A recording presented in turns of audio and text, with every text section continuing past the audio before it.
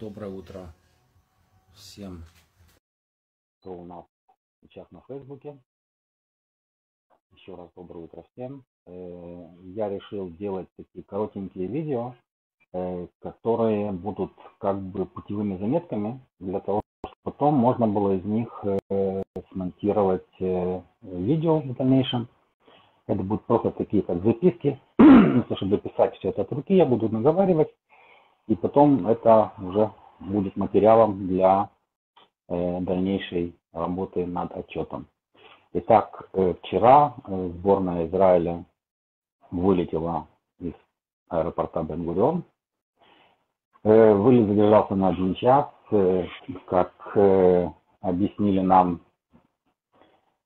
представитель авиакомпании из-за того, что кто-то из пассажиров э, где-то застрял в duty free и его ждали, и пока его ждали, пропустили так называемое окно вылета, которое должно было быть 12.55. Я так понимаю, что каждому самолету дается э, окошко, там, не знаю сколько минут, но как бы не, оно не очень большое, это окно.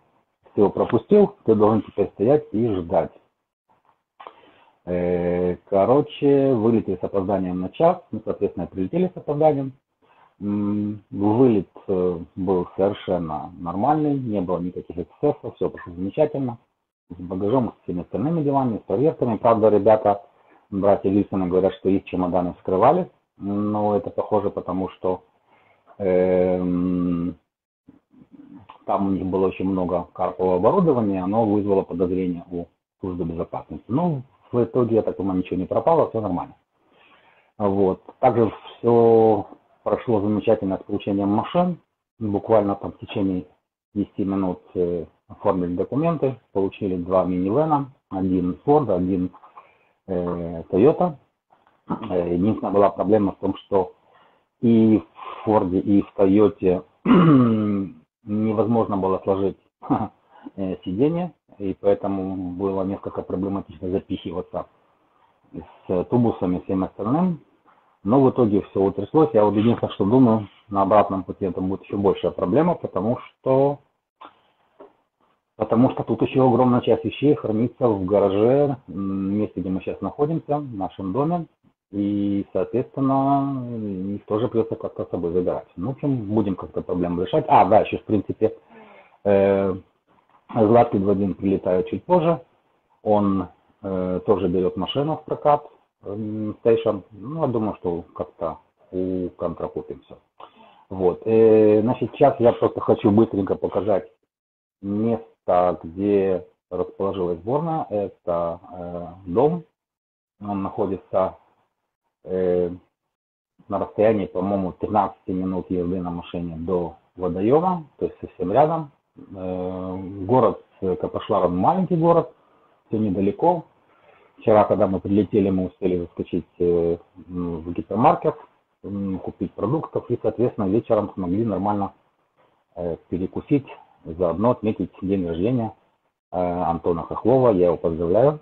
У нас этот выезд, он как бы уникален тем, что у нас э, три именинника.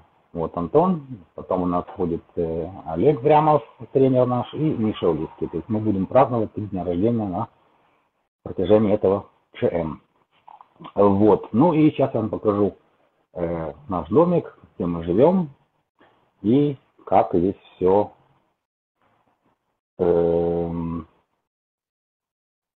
как здесь все налажено. Так, где у нас в этой фигне Ага, нашел. Такой вот домина. Там есть камин в доме.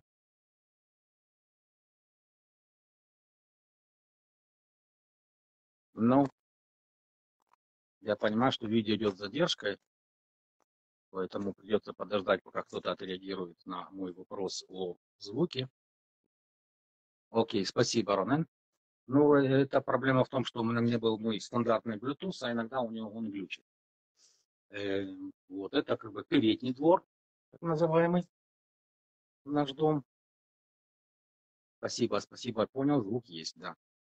Вот, там вот выход, там улица. Дом такой, я вам скажу, не маленький. это вот гараж, который нам предоставили э, хозяева этого дома для хранения нашего имущества э, вот с августа, когда наши, наши ребята были здесь на тренировке. Ну и теперь пойдем заглянем внутрь, как говорится. Вот. Вчера, кстати, была веселая история. Э, ребята из вот этого номера э, зачем-то вытащили ключ из дверей, который был снаружи, и захлопнули эту дверь, из, из, ну, как бы просто захлопнули дверь. А как вы видите здесь, открыть ее отсюда невозможно. Она защелкивается. Была проведена операция. Да. Короче, с помощью длинной палки, которую нашли в гараже, и куска веревки, сделав петлю, смогли через открытое окно, но слава богу было приоткрыто, засунуть палку и э, дернуть за ручку, короче, и открыть эту дверь. Было бы весело, потому что хозяин дома, он сейчас э, в отпуске, и было бы очень сложно найти того, кто бы привез нам ключ. Вот это один из апартаментов. Как бы, где у нас? Вот. Это как бы дом состоит из нескольких квартир. Вот, и как бы каждая квартира это номер считается у них. Вот номер, как бы салон, там кухня, вы видите, туалет, ванна и две спальни. Как бы в каждой спальне там от двух до трех человек. То есть очень комфортные условия. Соответственно, кухня полностью оборудованная, все есть. Вот, выключим у них свет. Эта э, комната в итоге будет использоваться как э, наша общая кухня столовая, где мы будем, если мы захотим собраться вместе. Вот. Дальше у нас есть второй этаж.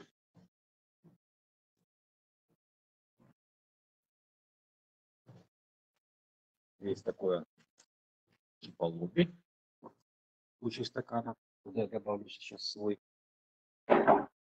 Вот. Здесь у нас еще один номер где-то не пойдут, возможно, там кто-то спит сейчас, потому что не все поехали на озеро, не всем это нужно. Это тоже как бы комната, в которой э, полностью всего есть кухня и, и спальня и так далее. Это вот как бы мои апартаменты, точнее мои и Олега, нашей маленькой кухни. Такой вот у нас салончик, мое рабочее место, где я пишу отчеты и обрабатываю фотографии. Ну, вот как бы чистая квартира, понимаете, да? Это спальня вождя, то есть меня. Вот, это спальня, где сейчас отдыхает, точнее, он не отдыхает, но ночью отдыхал. Олег Дрямов. И там будет также потом Вадим Златкин в этой же комнате. Вот. Ну и, как говорится, как же без мест.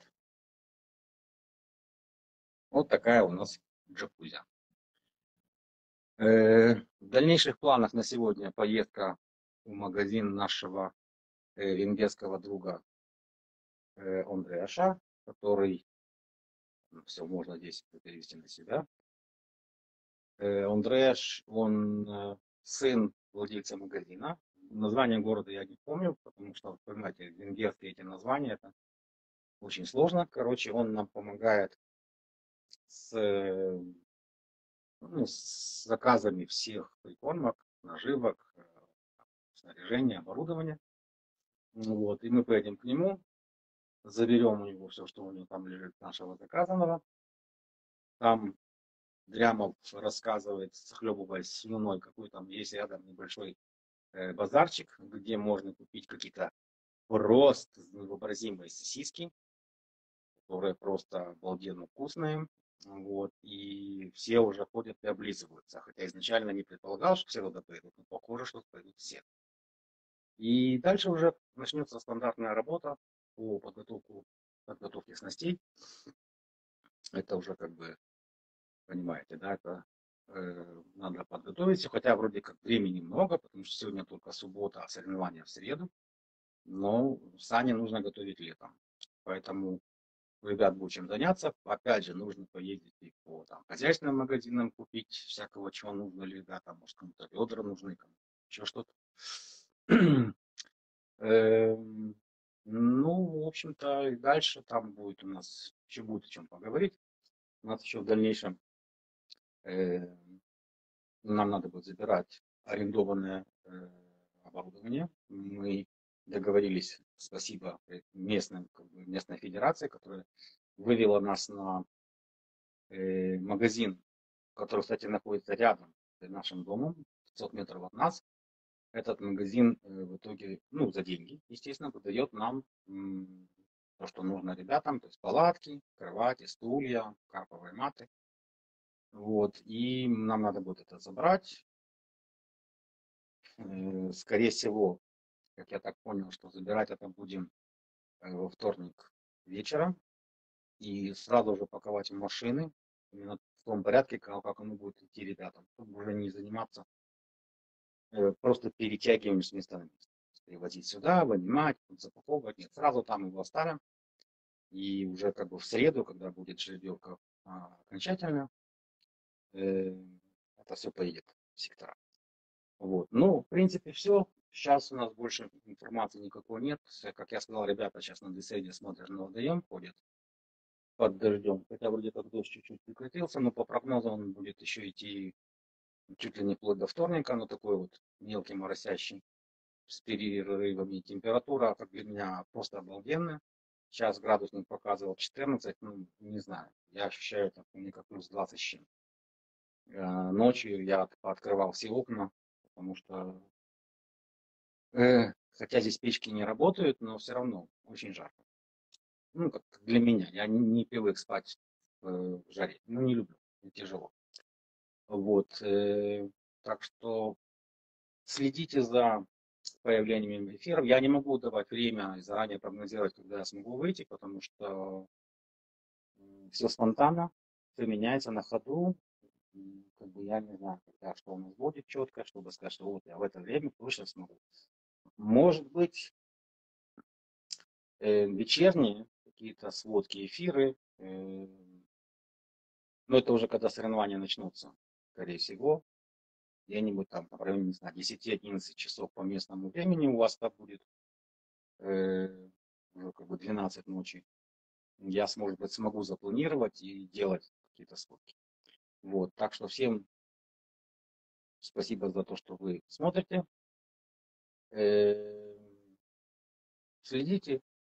Я не буду заранее опубликовывать, что вот там какое-то время будет. Как я сказал, это невозможно сейчас. Просто буду выходить, кто будет рядом, зайдет, посмотрит, кто не будет, потом сможет посмотреть запись. Никуда это не девается. Так что вот как-то вот так. Пойду я сделаю себе чашечку кофе, еще одну. Ну, вот. Ну, вообще, я вам скажу честно, очень уютный дом. Реально, очень уютный дом. И как бы с одной стороны ты вроде платишь деньги, и ну, ты получаешь то, что, то, что ты заплатил. Да? Но с другой стороны, все равно очень важно, когда отношение того же хозяина, этого там, гостиницы или чего-то, ну, тоже очень важно. А хозяин реально мужик классно, во всем помогал, и советом, и даже там, когда у нас были вопросы просто по городу, там, что где можно купить то-то, он нам всегда писал, что ребята, вот там и там, любая помощь, короче, пожалуйста, обращайтесь. По крайней мере, вот до, до, до нынешней минуты все, с кем мы сталкивались, реально с кем приходилось общаться, ну, не знаю, очень хорошие ребята, венгры, ребята, девушки, женщины. все очень э, доброжелательно к нам относятся, и все стараются чем-то помочь. Советом, делом, ну, понимаете, перевод – это очень важная штука, потому что венгерский язык, многие знают, это один из самых невероятно сложных языков. Э, и общаться с местным населением очень тяжело, потому что английский они в школах не учат. Ну, то есть, они его учат, как везде, наверное. Но что кто-то тут знает английский, это большой вопрос. Ну, кроме вот именно тех, с кем нам надо общаться, слава богу, они знают немножко английский язык. Вот, так что такие вот дела. Э, заходите на Facebook, там я же буду выставлять и фотографии, когда они будут появляться, и какие-то небольшие тексты буду сообщения писать. Пока, как вы понимаете, писать особо не о чем. Эм, никаких событий фу, фу, фу, ни плохих, ни хороших не произошло. Дальше следите. Вот. И, и всем большое спасибо. Обнимаю, об- обнимаю всех. До следующей встречи. Привет всем. Замечательно. Это наш второй эфир. Мы находимся в магазине нашего венгерского друга Ондраша. Э, точнее, как бы магазин не его, а его папы.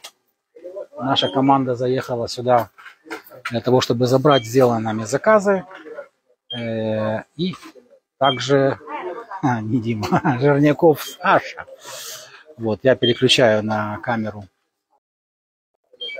и покажу вам немножко магазинчик.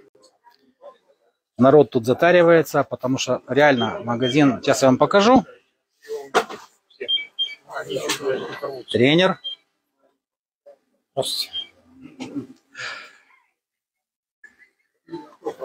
Как бы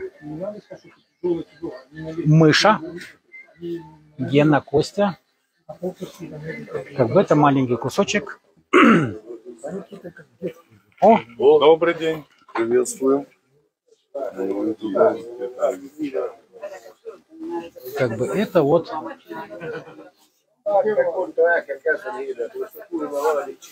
маленький магазинчик. Как сказал нам Ондреш, ну, как бы этот магазин небольшой, у нас есть в другом городе магазин побольше, на что меня пробило просто на смех, в плане того, что, как бы, если это маленький магазин, то, наверное, в Израиле у нас магазинами, то, что у нас магазины, магазинами и не считается. Короче, вот, вот такое вот богатство, как вы прекрасно понимаете. Все, кто сейчас сюда попал из наших ребят, э, набивают все, что можно себе, потому что цены здесь, э, познакомьтесь, это Андреш, это наш, это наш друг, который нам помогает, огромное ему спасибо. Вот. Мы его ждем в Израиле. Waiting for you in Israel.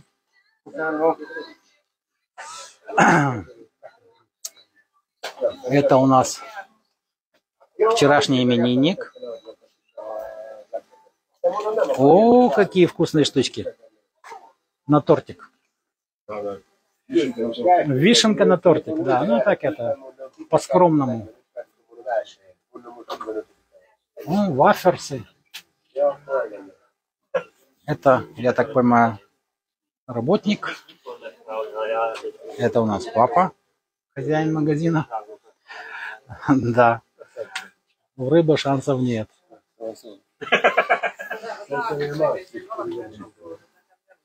Здесь, я так понимаю, есть достаточно большой выбор и обуви, и одежды. И если я правильно понимаю, то цены э, очень сильно вдохновляют наших ребят.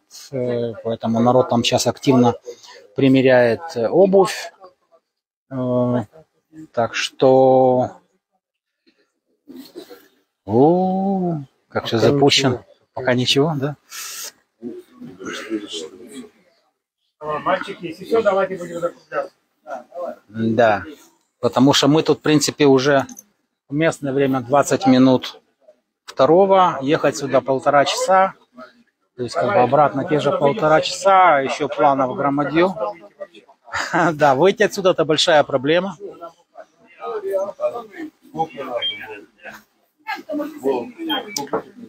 А вот, а еще мы хотели зайти на э, базар, который, говорят, здесь есть, но, может быть, он не работает, потому что зима и суббота.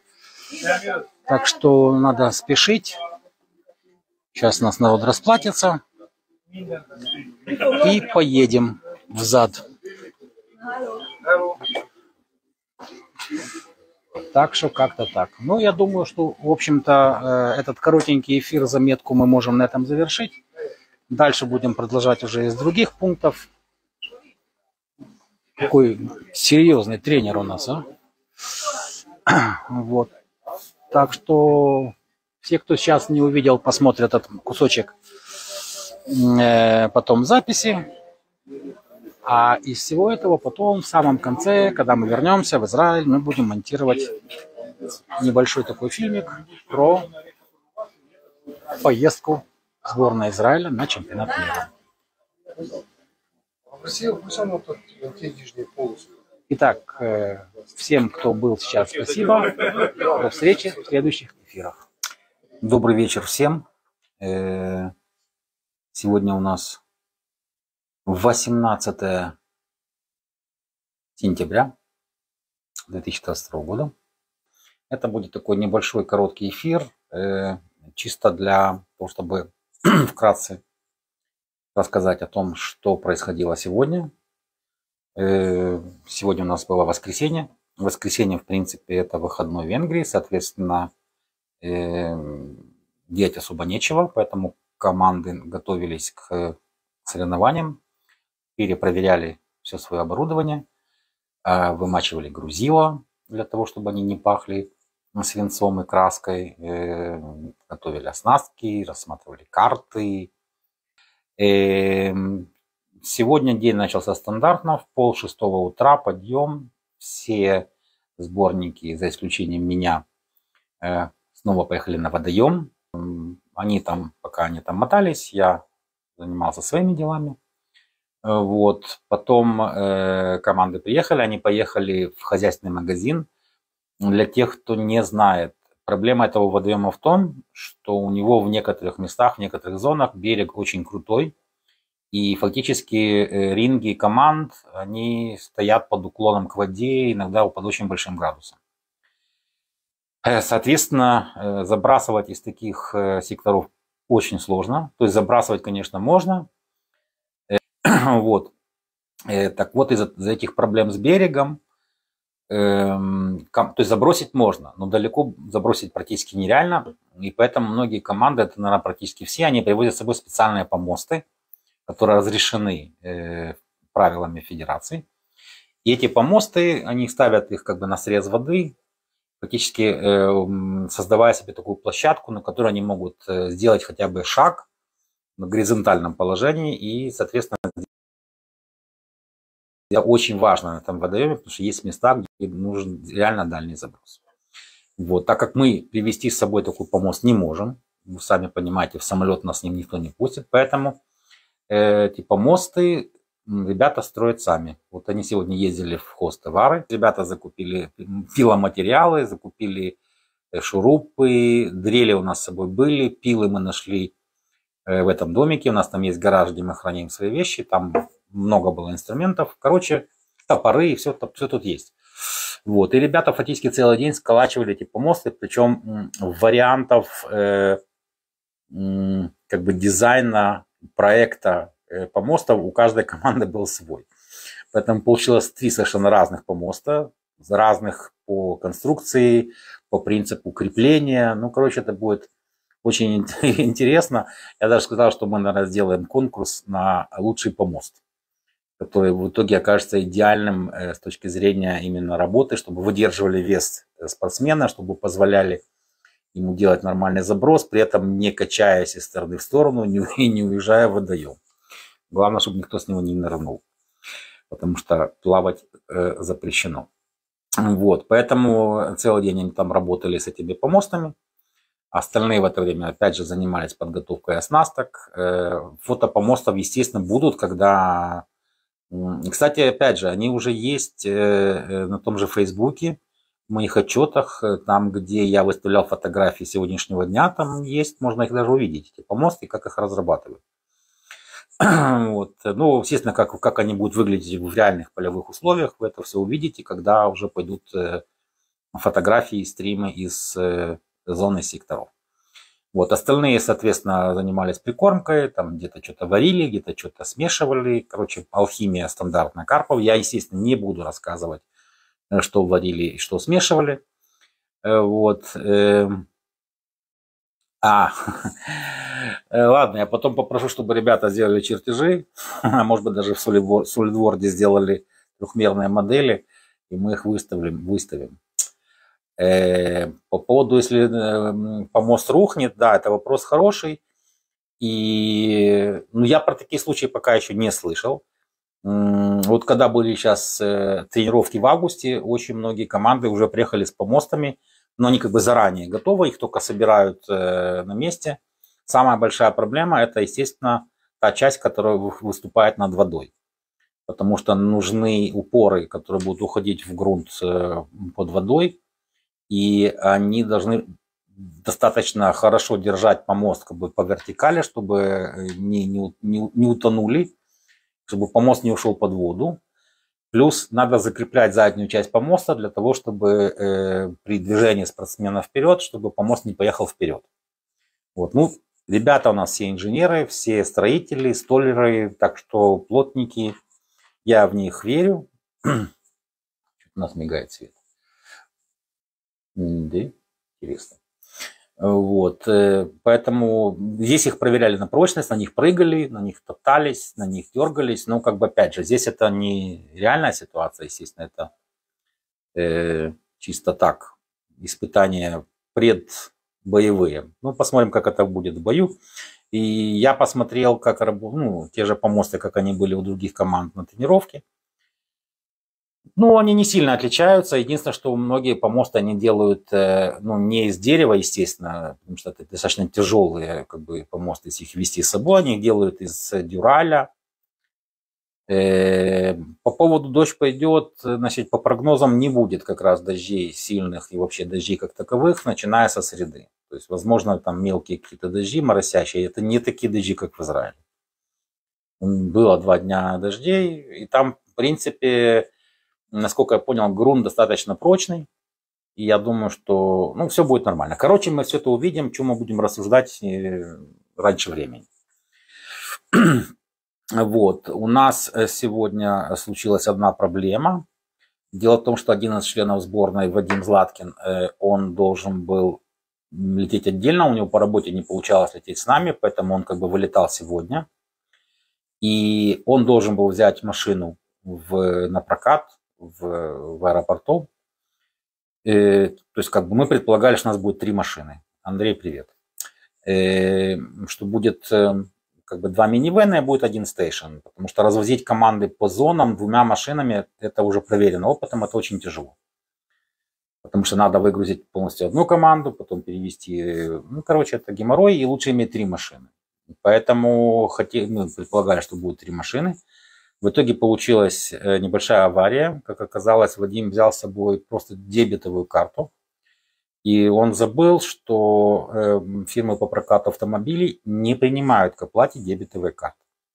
То есть оплатить машину можно даже через телефон. То есть мог как бы я позвонить, э, даже не позвонить, у меня просто бы Вадим дал телефон э, работнику компании, я бы ему продиктовал данные кредитки и сняли бы деньги с меня не, без проблем. Но есть один нюанс. Все компании по прокату берут депозит, то есть гарантию э, того, что у них будут деньги в случае, если мы машину разобьем, чтобы как бы гарантированно содрать э, штраф. Вот. И вот именно вот эта дебетовая сумма, которая, э, депозит точнее, который блокируется на кредитной карте на время, ну, как бы обычно на месяц они его блокируют, потом его как бы просто разблокируют, деньги, их никто не снимает, они на счету остаются, но для этого должна быть реальная э, кредитная карта типа Visa, MasterCard, а дебетовые даже при наличии на них достаточных сумм не работают. В итоге машину Вадиму не дали. И пришлось прямо на ходу переигрывать все, смотреть по Google Maps, какие варианты ехать сюда, потому что, вы понимаете, да, в Будапешт отсюда ехать больше двух часов. Это, если без пробок все нормально, то это где-то э, два, где-то два э, с половиной, ну, два десять. Э, при этом, э, э, ну и обратно столько же. То есть как бы четыре с половиной 5 часов дороги это очень тяжело. Поэтому мы как бы нашли вариант э, с поездом. Э, должна была быть одна пересадка. Э, и Вадим должен был уже вот сейчас, да, буквально сейчас приехать в Капашвар. Но с нашим еврейским счастьем поезд, на котором ехал Вадим, опоздал. и приехал на пункт пересадки позже, на 10 минут, и поезд на Капашвара оттуда уже ушел. Короче, Вадим сейчас застрял в, получ... в получасе езды от нас. И для того, чтобы... А следующий поезд будет только в 10 вечера. Ну, как вы понимаете, ждать э, 2 часа поезда, а потом еще полчаса. То есть 2,5 часа, ну, блин. В итоге Миша Эйлацкий, наш Улицкий, сел в машину, с ним напросились Хайкин и Костик Херсонский, и они поехали за Вадимом туда, они его заберут, через час они будут здесь, но это все-таки сэкономит два с половиной часа для человека, который и так вымотан, да нельзя, и полетом, и всеми этими перипетиями с, с машиной. Вот. Э, завтра с 10 часов утра начинается, точнее как, мы очень внимательно читали правила, и как бы почему-то оба проглядели о том, что регистрация началась еще вчера, точнее сегодня, 18 числа. Она, она идет два дня. То есть с 18 по 19 число регистрация прибывающих команд. И мы могли бы сегодня уже спокойно зарегистрироваться. Да, как бы я еще скажу, расстроились, потому что э, сегодня прилетели южноафриканцы. И так как у Вовы Файнермана был для них какой-то там, э, что-то он должен был им передать, мы решили к ним смотаться. До них было ехать э, 7 минут, по-моему, от нашего дома. Вот, и мы к ним съездили. Дом южноафриканцев, он находится в э, там, 50 метрах от того места, где, где проходит регистрация команды. И мимо этого места проезжали сегодня как бы два раза, получается, туда и обратно. Ну, вылетело из головы, ничего страшного. Завтра с 10 часов утра можем там опять подъехать зарегистрироваться. Это, в общем-то, формальная операция – Э, подтвердить, что сборная прибыла, на сколько человек, чтобы проверить, что у них есть в списках все члены сборной. Вот, эм, если у них есть кейтеринг, заказать кейтеринг для команд, питание на время соревнований. Если есть дополнительные люди, которые хотят пойти с нами на э, прощальный ужин, то нужно за них отдельно заплатить. Вот. И, в общем-то, на этом все. Как бы регистрация вся там заканчивается. Дают еще обычно какой-нибудь там пакет с документами, с теми же правилами, с картами города, объяснениями всяких мест, куда можно сходить, что можно посетить и так далее. Ну, такая вот фигня. И после этого, в общем-то, все на сегодня, ну, на завтра. Но мы хотим еще зайти э, в соседний рыболовный магазин. Я не помню, писал я, нет, ну, как бы я писал в своих отчетах, э, что эм, у нас же была проблема с кемпингом, то есть со, с палатками и всеми делами, мы же не могли это с собой вести. Поэтому э, в прошлый раз на тренировке мы снимали это оборудование в Будапеште, оказалось э, полный дрек, дали разбитые поломанные палатки, короче, в ужасном состоянии все было, и люди были очень недовольны. Палатки крохотные были совсем. Э, ну, в общем, нам пообещала местная федерация помощь. Но случилась, как всегда, небольшая авария. Потому что для венгров э, русские имена – это русские имена. И поэтому, когда к ним обратился еще один товарищ с русским именем, они решили, что это мы. И они с ним, с этим товарищем, продолжили переписку, и они ему э, оформили э, это снаряжение, которое предназначалось нам, а в итоге, в итоге оказалось, что это казахская сборная. То есть, короче, они то, что обещали нам, Э, записали, ну, пообещали казахской сборной. Когда э, разобрались с этой ошибкой, когда я наконец смог объяснить э, женщине, с которой я общался, которую зовут Ливия, что мы это не казахи, хотя имена у нас русские там и тут попадаются, но это не значит, что мы все с одной стороны. Она очень сильно расстроилась, я так понимаю, там был небольшой переполох у них в магазине, что как так получилось. А у них не было второго комплекта, у них был только один комплект, который они пообещали изначально нам, а в итоге дали казахам. Вот, так как это была их э, ошибка, они решили пойти на такой нестандартный шаг, они решили нам дать совершенно новое оборудование, обычно не то, которое предназначено для аренды, а просто новое оборудование из магазина. То есть фактически то, что у них лежит на складе на продажу. С одной стороны, мы где-то выиграли, потому что команды получат э, все новое, и кровати, и палатки, и стулья, в общем, все. А с другой стороны, это, конечно, немножко дороже будет стоить, потому что ну, новое, ну, что делать. Вот. Но с другой стороны, эта женщина, с которой я общался, она оказалась очень приятным человеком, она нам очень много помогла советами. И э, у нас одна из проблем, про которую я писал, это было, как будет передвигаться тренер между секторами, расстояния большие. Пешком ходить, это ну, один раз пройдешься и все, ляжешь там где-нибудь по дороге. А машина это тоже очень тяжело, это нужно постоянно возвращаться к стоянке, выезжать, там нет прямого проезда между секторами, запрещен. То есть им надо выезжать э, на трассу, по трассе объезжать большой кусок и опять заезжать внутрь, на стоянку очередную, на очередную зону. И так тут э, три зоны. Ну, это же вообще ужас. Но там идет велосипедная дорожка. Вот. И тренер там мне заморочил голову, он хотел электросамокат. Но, как оказалось, электросамокаты здесь в аренду не дает. Но Ливия нашла нам электровелосипед. Чему тренер тоже искренне рад, потому что хоть, электровелосипед, где не надо крутить педали. Тяжелее, конечно, сидеть, задница болит, но все-таки это лучше, чем ходить пешком. И там велосипед на 100 километров, как бы батарея. Плюс нам пообещали еще одну запасную батарею еще на 100 километров, так что тренеру катайся, не хочу.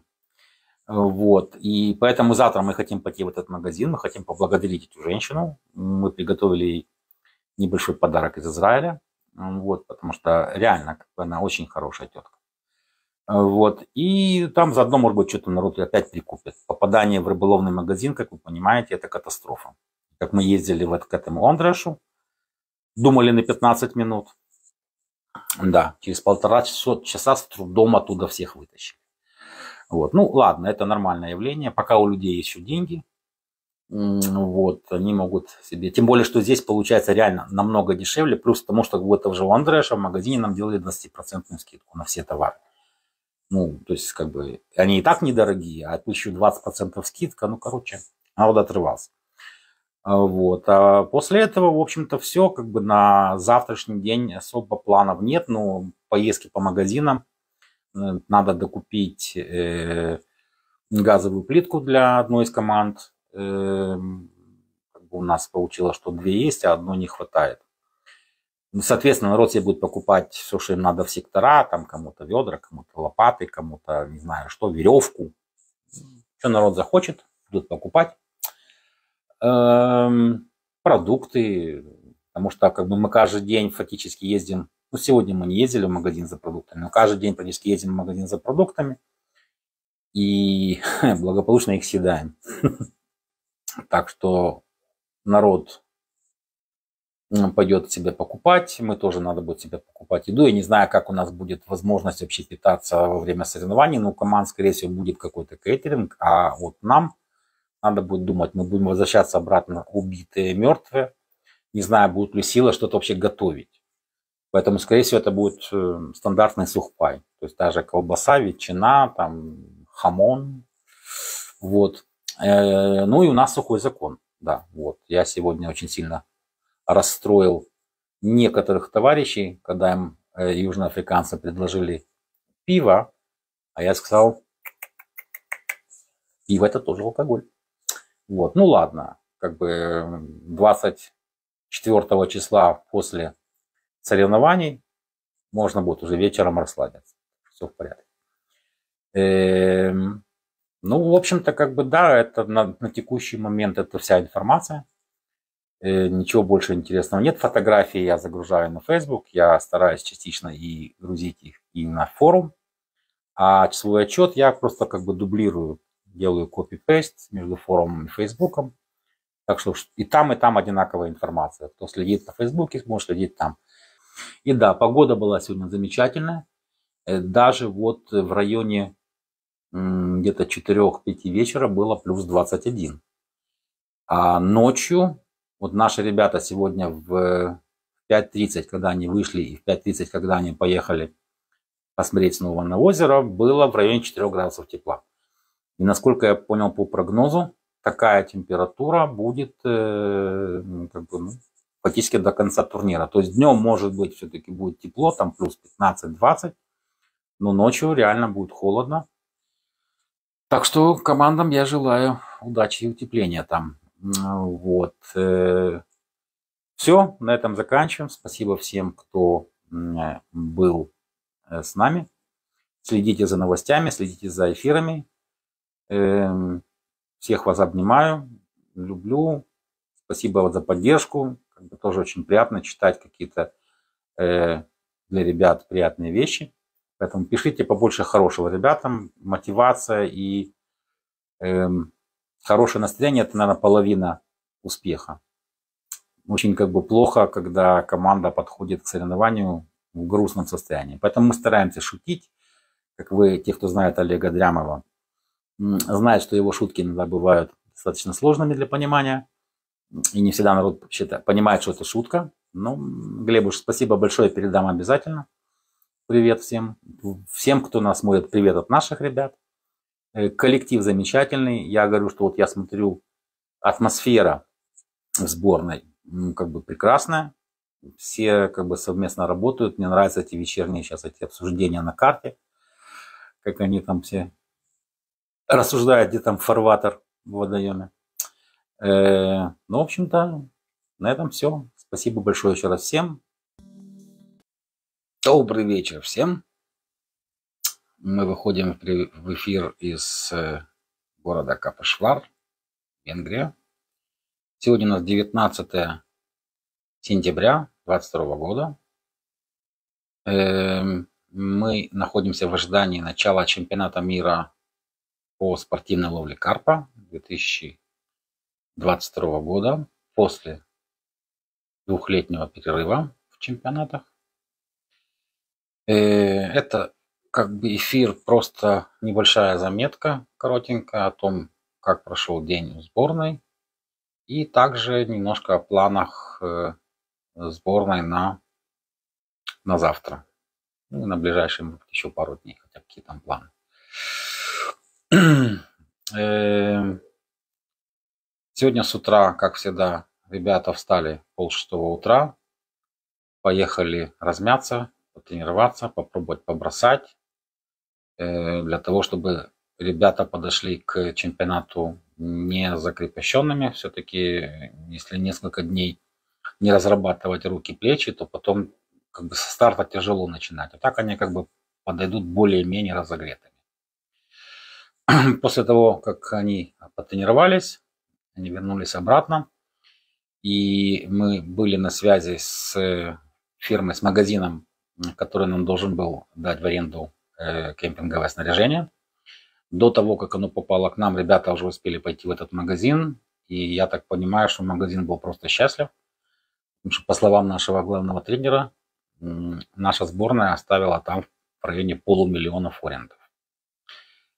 Так что э, для магазина эти чемпионаты, конечно, возможность сбагрить все, что у них лежит, все, что у них залежалось, не покупается венграми, потому что для венгров это может быть дорого – а вот для нас это совсем недорого. Ну, короче, они там все скупились, они вернулись. Потом как бы мне эта женщина, девушка, которая отвечала за весь кемпинг Ливия, она мне написала, что я сейчас к вам приеду, а через пару минут написала, что извините, не приеду, потому что к нам зашла сборная Латвии, по-моему. То есть тоже скупили там пол магазина. Вот. И ну, опоздания никакого не было, потому что изначально мы не определили четкое время, когда они привезут. Это было между 10 и 12. Вот. Короче, в районе 12 часов они приехали, они привезли, они привезли э, палатки, привезли кровати, стулья, карповые маты. Причем, как я уже раньше говорил, из-за ошибки, которая была допущена э, в предварительном определении, кто есть кто, и то, что нас спутали со сборной Казахстана. Э, добрый вечер всем, кто нас смотрит еще раз. Э, в итоге нам они были вынуждены дать новое снаряжение. То есть практически мы получили две новых палатки, мы получили два новых карповых мата. Ну, как бы стулья, кровати юзанные, поддержанные, но, в общем-то, это же не так и важно. Тем более, что не будет так много времени у ребят отдыхать я верю в то, что будет работа, будет клев. Вот, э, мы отблагодарили эту Ливию, в общем-то, сделали небольшой подарок. Спасибо моей жене, которая помогла в выборе э, товаров, продукции Мертвого моря. Э, Ливия была просто ужасно обрадована, и она уже после того, как они уехали, она еще несколько раз мне писала слова благодарности. Э, спасибо огромное за такой шикарный подарок. Но она просто сама даже не понимает, насколько она э, нам помогла. То снаряжение, которое сборная наша брала в августе в другом месте, это было полное, я уже говорил, полный дрек, полуполоманное, полупорванное, вообще ужасное, без дна, без стенок, палатки. Ну, короче, это был кошмар. Вот. И по деньгам я не могу сказать, что то снаряжение, что мы брали в августе, стоило намного дешевле, чем... Э, не обращайте внимания, что я оборачиваюсь, там просто бродит наш главный тренер, который почему-то отказывается показываться людям. Я не знаю почему. Она стесняется очень. вот. Эм, короче, снаряжение получили, еще получили вдобавок в подарок, ну как в подарок, бесплатно, э, три стола хороших пластиковых, на которых можно будет там поставить газию и варить пищу и кушать. Вот. И после этого мы поехали втроем, как бы Олег за рулем, Гена и я поехали на регистрацию сборных, на официальный пункт встречи. Там уже, когда мы приехали, там сидела сборная э, Польши, регистрировалась, а до них как раз прошла сборная Италии. Ну, как бы тоже нек- нек- некоторые знакомые лица были, но, в общем-то, я лица плохо запоминаю. Гена там вроде как то узнал, ну не знаю. Вот. После поляков пошли мы. Был там казус, я про него писал в своем отчете, о том, что я поставил видео, камеру как бы на запись, на запись видео. И как бы забыл включить микрофон. А так как он не был включен, то, соответственно, телефон звук вообще не записал. Ну, э, я потом уже буду, когда обрабатывать все видео, что у меня собирается, я там сделаю чисто вот э, голосовую озвучку о том, о чем идет там речь. Там ничего особо такого нет, потому что нужно просто сверить, что их записи соответствуют тому, что мы им присылали, а они не соответствовали, сразу говорю. То, что я им посылал еще буквально две недели назад, вот, уточнение в э, составе сборной, потому что Юра Каганович, к большому сожалению, поехать не смог, и пришлось из этого э, менять Э, состав, ну не состав, как бы менять состав, э, менять, э, ну в принципе, да, состав получается, потому что вместо двойки Юра Каганович и Владимир Златкин э, зашла фактически двойка Вадим Курбатов и э, Влад Ируткин, ну, Сергей Курбатов, извините. Э, вот, а Вадим Златкин, он перешел в запасные вместе с Костиком. Ну и заодно, как, естественно, все наши запасные, это всегда как бы они же еще и раннеры, то есть помощники, которые помогают э, капитану и тренеру следить за событиями. И эти, все это было подано, э, подано э, в Федерацию спорта. И не знаю, куда оно ушло, я не знаю. Но в документах, которые нам дали, там все было по-старому. То есть как бы старая двойка Златкин, Каганович и так далее. Ну, в общем, на ходу пришлось все черкать и смотреть. Короче, все там поисправляли. Нам дали подарочные наборы. Это так смешно. Подарочный набор – это кружка, значок и пару бумажек. То есть проспекты... Куда я его делал, не помню. Ну ладно. Там просто проспекты о городе Капашвар. Вот. Единственное, что как бы нам, как э, представителям сборной, капитану и менеджеру нам как бы дали маленький подарок от э, но это у нас остается до субботы. У нас тренер жесткий, у нас сухой закон, даже пива нельзя. Поэтому э, алкоголь у нас будет только в субботу. Уже по окончании э, турнира и, как э, говорится, после того, как мы получим свои золотые медали. вот. После того, как мы зарегистрировались, в общем-то, уже не было особых дел. Кто-то пошел отдыхать просто, потому что вы же понимаете, да, каждый день вставать в полшестого, для многих это достаточно тяжело и непривычно. А ложатся люди поздно именно потому, что кучу вопросов нужно обсудить, всяких мелких дел завершить, э, посоветовать, э, посоветоваться. Поэтому люди ложатся поздно, а встают рано. Ну, в общем, надо отдыхать. Поэтому кто-то лег спать, а кто-то пошел гулять по городу, кто-то поехал опять же в магазин. так что всем было занятие. И вечером мы просто еще раз съездили в тот же самый ресторан, который я уже упоминал, где очень вкусно кормят, э, чтобы поужинать. Э, в этот раз э, полностью осилить все я не смог, то есть старею явно, вот, потому что в прошлый раз я съел все. Вот. И в этот раз я взял себе там другой супчик. Ну, короче, я не буду об этом говорить, потому что я так вижу, что очень многих почему-то раздражают мои рассказы о том, как нас тут вкусно кормят. Что типа мы должны тут, наверное, сидеть в проголоде, пить воду, есть сухари. И, кстати, сухари. Вот. Э, сестра моей жены э, насушила нам сухарей. Э, я вчера их достал, поставил как бы нам тут на стол, и мне пришлось буквально силой отбирать эти сухари у нашего тренера и у себя самого, потому что, ну, не то, что там они прям какие-то супер, но вот они как-то так легко пошли, как семечки. И вот ты сидишь, чем-то занимаешься, а потом замечаешь, что ты полпакета, полпакета сухарей уже ты умял. Вот, в итоге я наступил себе на горло, отсыпал большую часть этих сухарей и отнес их спортсменам. И в итоге Получил кучу благодарностей. Сказали, вай, как хорошо, как вкусно.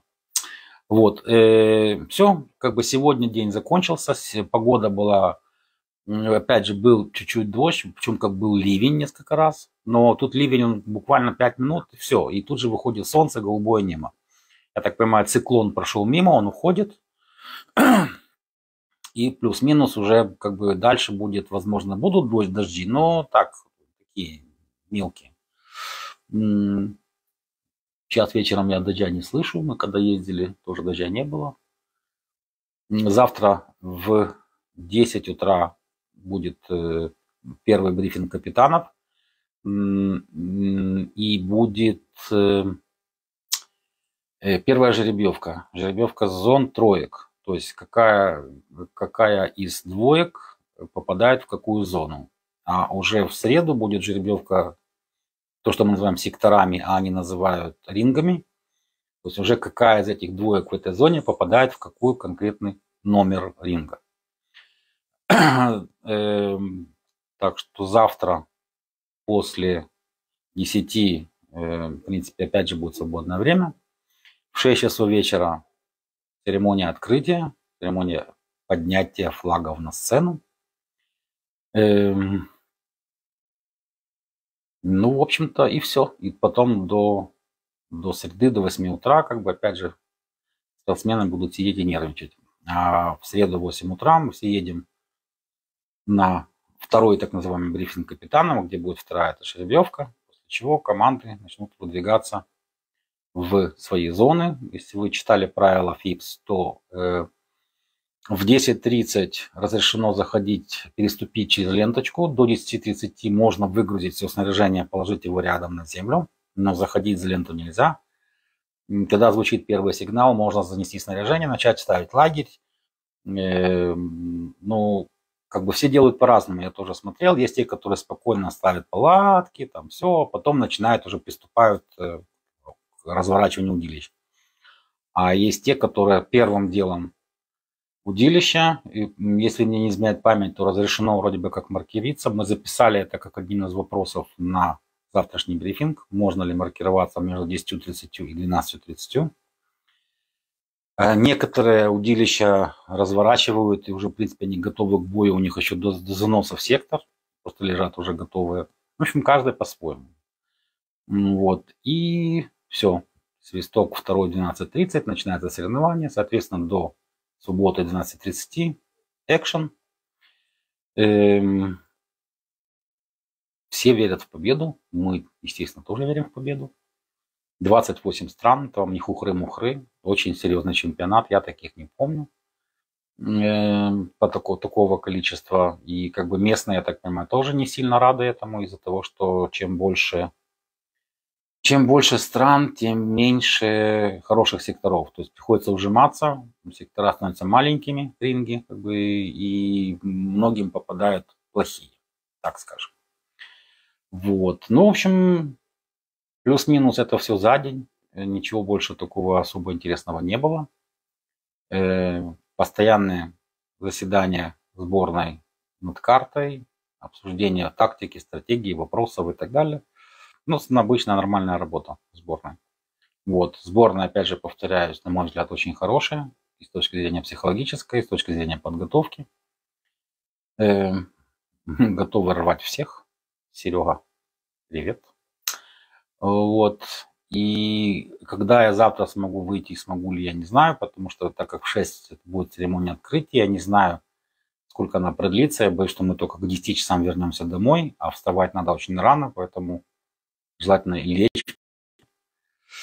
Так что не знаю, не обещаю насчет завтра, может быть днем между вот э, брифингом капитанов и церемонией награждения, может быть, я еще там скажу пару слов, если будет что-то интересное на брифинге. Если хотите, чтобы я передал кому-то привет, и пишите это в комментариях, извините.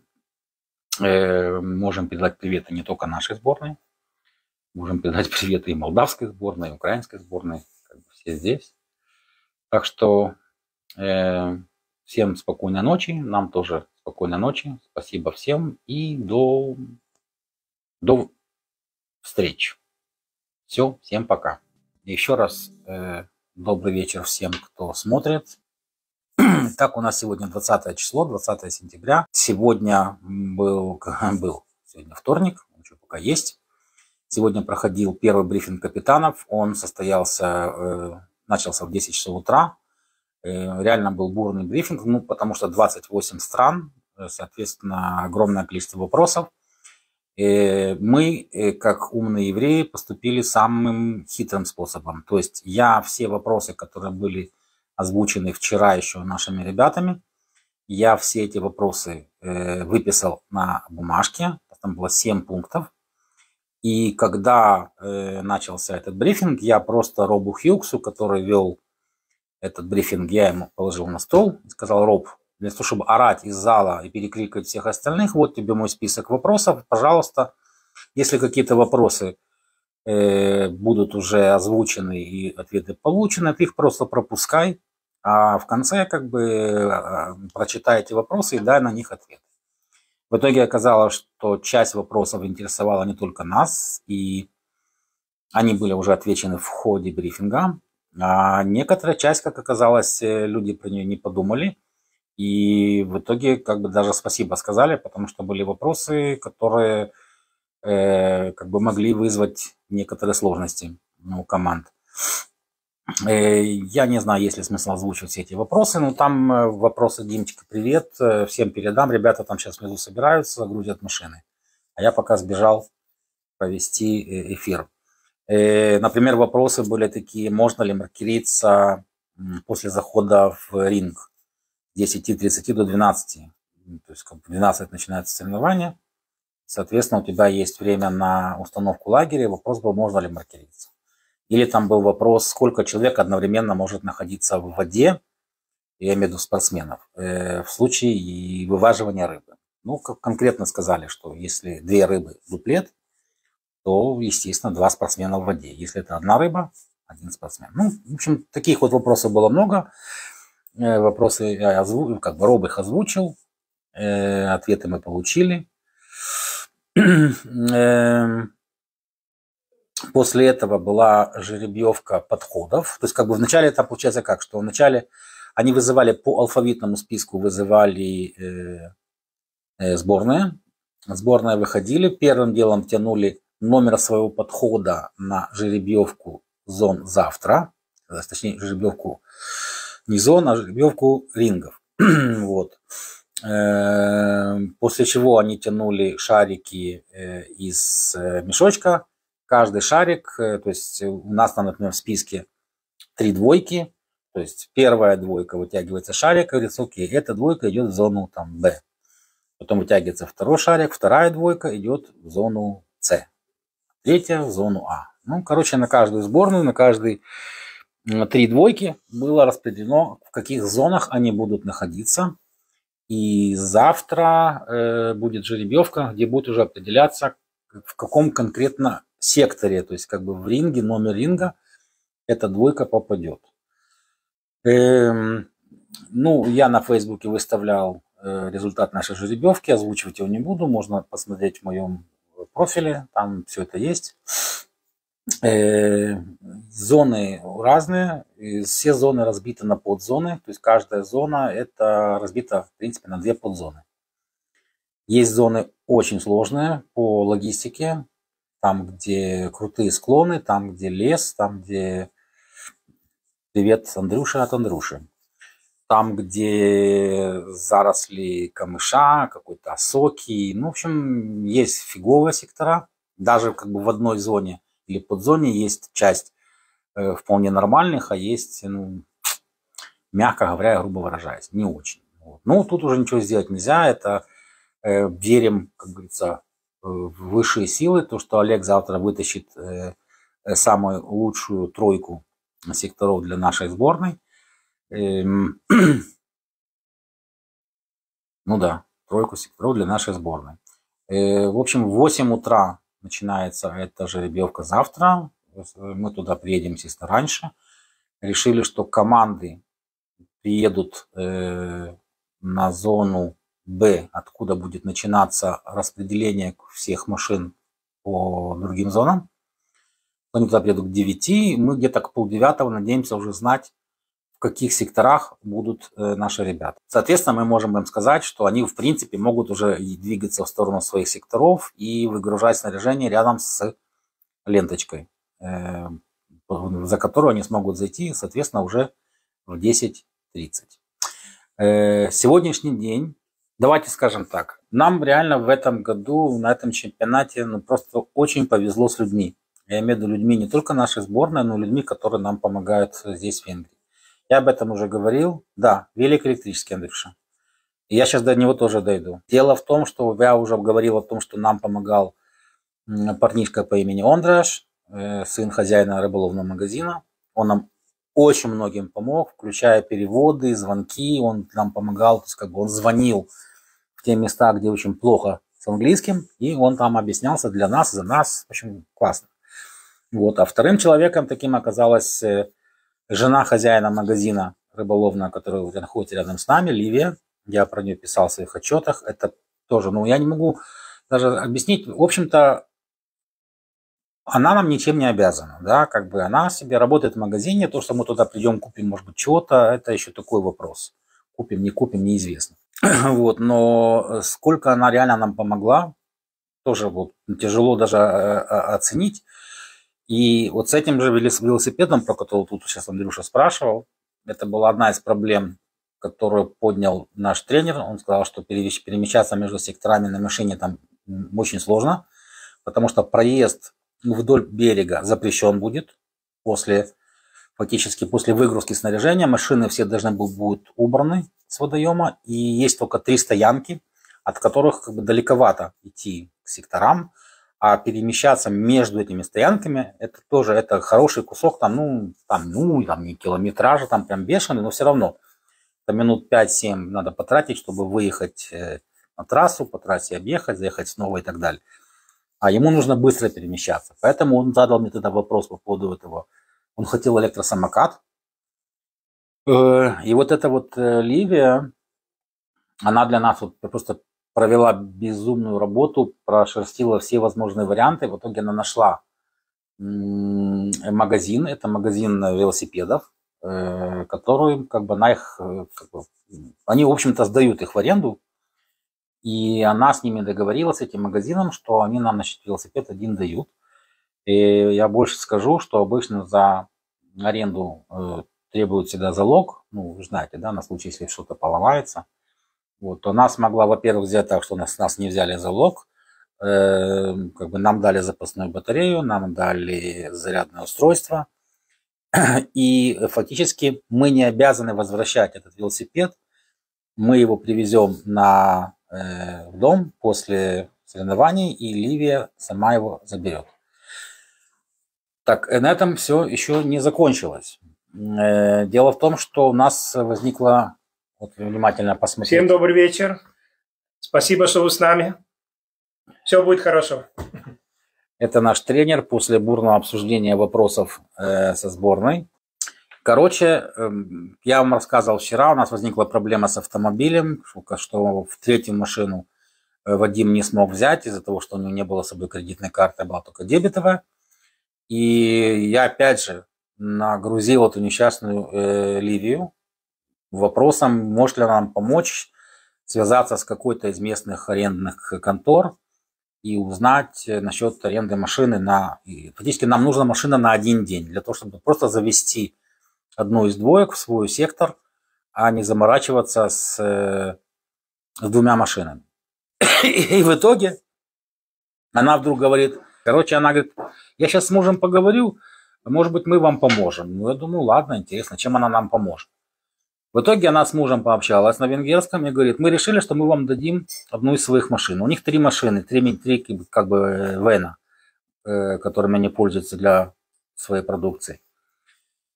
Я говорю, ну, блин, я не знаю, что тебе сказать, как бы, это неудобно, это же ваше личное имущество. Она сказала, ну, ничего страшного.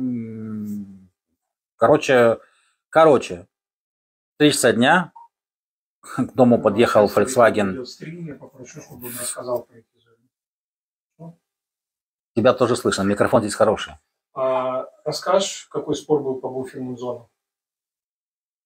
Что справа от ропа является Да, границей? хорошо, я расскажу. Расскажешь, ребята просят просто. Тебе спасибо за донат передают. Короче, в 3 часа дня подъехал Volkswagen э, э, Туран, э, именно багажный, то есть как бы водительское пассажирское сиденье, пустая машина. Это просто иде- идеально то, что нам нужно. Потому что этот велосипед, и если вы видели фотографии, он просто гигантский. И мы его с огромным трудом впихали в коллегу машину, когда везли сюда. И мы думали, а как же его везти туда? Потому что если машина будет загружена еще там тубусами и всем остальным, то, я извиняюсь, для велосипеда там места просто уже нет. Ну, либо что специально ехать за ним отдельно второй ходкой. Короче, когда я попытался этой Ливии сунуть э, деньги за эту машину, хотя бы за сутки, она сказала, не надо никаких денег, это вам как бы от нас вот чисто такой жест доброй воли. И при всем при том, что и, и- и как бы возвращает. То есть мы машину завтра пригоним снова к дому, и она сама ее заберет. Причем я так понял, что вот она, когда к нам машину пригнала, пошла себе дальше в магазин пешком. Не то, что это так далеко, но могла бы просто даже попросить, чтобы мы ее подбросили. Ну, такие вот. Причем она при каждом слове, при каждом моем э, обращении к ней, она жутко краснеет. Я так понял, что она ну, не сильно э, ей как бы в жизни приходится общаться на английском языке, тем более с израильскими спортсменами. Э, ну, в общем, короче, классная э, тетя, э, классный магазин, все, что там можно было, мы выгребли нафиг. Вот, и, короче, будем всем рекомендовать в дальнейшем этот магазин. Олег попросил меня рассказать о том э, споре, который был во время брифинга капитанов. Э, Дело в том, что они сделали какую фигню. В воде стоят атропы, то есть маркеры. Э, В каждой команде есть э, правая ленточка и левая ленточка. Значит, правая ленточка направлена в воду и смотрит четко на вот эту атропу. Это правая граница сектора команды или там ринга, за которой она, естественно, вправо уходить не может, она должна, должна, должна ловить левее. Но с левой стороны нету такого, э, такого буйка или атропы, который бы ограничивал створом сектор.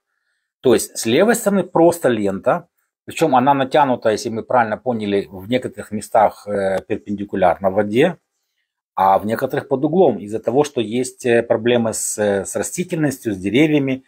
Она как бы сделана так, чтобы показывать э, направление заброса по левой стороне. И люди там стали, стали возмущаться, что это очень неудобно. И это будет путаница, это будет ругань, кто кому куда кидать. В общем, в итоге на брифинге уверили спортсменов о том, что эту проблему попытаются решить. Я не знаю, как они попытаются решить. Э, Они должны, они пообещали вроде бы как поставить и левую границу от трупу тоже, то есть сделать створ. Реально створ на каждую команду, который будет показывать четко направление заброса и как бы ворота, куда кидать можно. Одна проблема небольшая. Э, эти атропы ночью не светятся. То есть ночью их не видно. Поэтому было сказано всем э, сборным о том, что позаботьтесь сами, как э, выставить что-то, направление заброса, чтобы четко понимать, где находятся эти атропы. Был задан вопрос, можно ли использовать лазерный целеуказатель для определения линий заброса. Сказали, что в правилах запрета нет как такового на такие вещи. Есть запрет на использование ярких фонарей и освещения, но это не относится к нему. И, по-моему, сказали, что ну, только желательно, чтобы не светить на противоположный берег, потому что лазер как бы достаточно мощная штука. Если там с той стороны будут люди, то кому-то может попасть лазер в глаз и повредить. Э, ну, посмотрим завтра, как оно будет в реальности. Мы пока, естественно, не, не слабо себе представляем, как они всю эту проблему с секторами и с границами решат. Плюс еще проблема, это то, что огромное количество команд очень сильно ужали. То есть фактически отсутствуют буферные зоны вообще как класс. Если обычно у тебя есть э, ринг, вокруг ринга у тебя есть э, зона, которая как бы в, в, внутри которой находится ринг, и между двумя такими зонами, тут как бы два сектора, находится буферная зона еще двухметровая для журналистов которые могут заходить пресса, то сейчас этого ничего нет. То есть, это, это, это двойная есть. Так а сколько там расстояние, Олег? Да? Какое же там расстояние? Есть много секторов, где буфера очень большие. Есть много секторов, где буфера большие, есть сектора, где стоят практически близко. В зависимости, как позволяет... Э, так вот, я же об этом и говорю, о том, что есть сектора, где у тебя никаких ни буфера, ничего нет. Буфер может быть 3 метра, 5 метров, что нельзя считать, что это вообще буфер. Но это не буфер, потому что у тебя обычно 40, у тебя 40 метров должен быть сектор, 40, внутри которого стоит 20-метровый ринг. Тебя 20 на 12. Это ринг. Это то место, где стоят спортсмены. 20 на 12. Вокруг этого есть 40 метров. 40 метров у тебя есть это двойное кольцо, за которое нельзя переходить. Еще это метр вот так вот. И потом между, между рингами то есть у тебя, у тебя твой сектор сам по себе, сам по себе сектор, вся его длина, это 40 метров должна быть.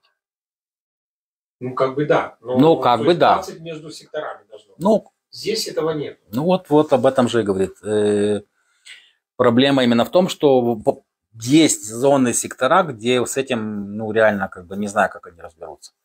Ну, в общем, э, после, после того, как нам привезли машину, э, команда немножко там, кто поработал, кто отдохнул, и мы э, оделись во все парадное и поехали на церемонию открытия. Причем, как бы нам вот повезло реально с жильем. Олег уже об этом даже несколько раз говорил, что у нас все рядом. У нас все, что нужно, находится на расстоянии 5 минут езды, а иногда и ходьбы. И этот э, центр, э, где проходил э, открытие, он тоже точно так же 5 минут, какие 5, по-моему, даже 3 минуты, а не 5 минут езды от нашего дома. 800 метров. О, 800 метров, говорит Дрям. Так что и тут было хорошо, не надо было заранее никуда ехать. Э, ну, я вообще, честно говорю, я не очень люблю эти церемонии, э, потому что э, всегда очень много говорят. Говорят, там выступал мэр города, выступал еще кто-то, председатель федерации города Капушвар, потом выступал профессор Матиоли, председатель ФИПС. Короче, это вот это бла-бла-бла-бла-бла-бла-бла-бла, там полчаса, 40 минут только вот таких вот э, спасибо этим, спасибо тем, а, вот. Вот. Потом выступил какой-то фольклорный ансамбль, как, на мой взгляд, каких-то дилетантов на улице поймали, которые роняли свои палки. Ну, они старались, Андрюш, ну, блин, старались. Да, они старались, как бы, ну, знаешь, для, как для чем, мне кажется, это, ну, не знаю, слабовато. Дим, ты прав, Сек, ну, нету, здесь нет понятия сектор. То, что сектор, это, это у них называется зона. Мы называем это зона А, Б, С, а у них это называется сектор А, Б, С. А вот то, что ты говоришь, это ринг или пег. То есть, как бы это место, э, где стоит команда, 20-метровая, 20 метров на 12 метров. Это место, в котором внутри находится команда и откуда им выходить нельзя. А с двух сторон от вот этих вот краев 20-метрового этого ринга есть еще по 20 метров. Ну да, по 20 или по 10, по 10 получается. Так, чтобы в общей сложности это было 40. Но, как сказал Олег, реальность, к сожалению, диктует свои условия, и здесь очень проблематично э, вот, э, сделать в некоторых местах вот такие э, зоны, такие ринги. Это как и у нас на Кенероте. Есть места, где можешь сделать 100 метров для команды, а есть места, где с трудом 20 метров, и скажи спасибо, что они есть. Так что все это мы увидим завтра. Завтра мы узнаем, в какие места мы падаем, какие э, ринги попадают наши ребята. От этого будем э, танцевать. Гена, привет. Э, тебе всем привет от тех, кто тебя помнит. А здесь у нас таких три человека. Гена Медведев? Да. О. Медведев от Олега Дрямова. Привет. Блин. Физкуль, привет. Вот так вот прошел сегодняшний день. Все продуктивно работали целый день. Как бы ребята разбирали, раскладывали свое снаряжение, кому что, кому какая палатка, какие стулья. В общем-то, бездельничать никто не бездельничал. По ресторанам сегодня мы уже не ходили. Михе привет передам обязательно. Вот. Эм, так что следите за моей страницей в Фейсбуке. Как только будут появляться эфиры, они будут появляться спонтанно и внезапно, без предупреждений. Поэтому я буду пытаться эм, при начале эфира делиться этим эфиром в, на своей странице и на странице группы Исрафиш, которая есть на Фейсбуке. Э, может быть, это хоть как-то дойдет до э, людей. Э, вот. Всем спасибо, кто нас поддерживает. Мы верим в то, что вы в нас верите, и в то, что вы нас будете поддерживать до последней секунды. И все настроены на победу. Как бы я не вижу ни одного сомневающегося в этом. Так что главное правильный настрой, и мы всех порвем, как тузик грелку. Вот. Так что до свидания. Ждите появления новостей на форуме, на Фейсбуке. Дрямов, хочешь сказать что-нибудь напоследок? Нет, все. Спасибо всем. Сейчас, подожди, секундочку. Всем доброй ночи. Вот, мы будем стараться. Все, спасибо всем. Всем пока. И снова всем привет по второму кругу. Мне никогда не, не жалко поздороваться еще раз. Э, единственное, что нужно, получается, подождать всех тех, кто там висел и смотрел, и теперь был внезапно, как говорится, выкинут со стрима. Э, на жеребьевку поехал э, Олег, я и Игорь и Костя. Остальные ребята, они были, уже ждали нас в районе сектора С. После жеребьевки Э, мы поехали разгружаться. И так как администрация водоема запретила заезд на э, сектора из всех мест, кроме одного, это создало колоссальный балаган, но на удивление очень быстро он рассосался. То есть они просто запускали по дороге, которая идет вдоль, вдоль водоема, запускали э, машины из расчета, что самая дальняя это зона А, значит первая пошла зона А, за ней поехала зона Б, и зона С как бы последняя заезжала. То есть мы как бы с Олегом ехали последние, а ребята поехали вперед. Поехали на машине одной нашей и на второй машине, которую нам любезно предоставила Ливия, которая нам помогает. Вот. Эм, я поехал, так я был, в принципе, я был с Олегом, значит, я был фактически с командой э, Антон и Вова Файнерман, поэтому я и из их сектора тоже делал как бы небольшой стрим, если кто смотрел. У них сектор в сектор, у них ринг он находится в в лесу, в таком классном, темном, таком влажном лесу. Эм, а как бы э, ринг братьев находится на зеленой травке, что называется, растительности вокруг нет, кроме камыша, камыша в воде. Из-за чего у них там есть только два места, куда они могут выводить рыбу, в принципе. Потому что все остальное заросшее камышами. Как бы вырубили куски, вот, но все равно, не знаю, я бы вырубил там как бы все 20 метров, но я так понимаю, что они пытаются сохранить растительность тоже. Вот.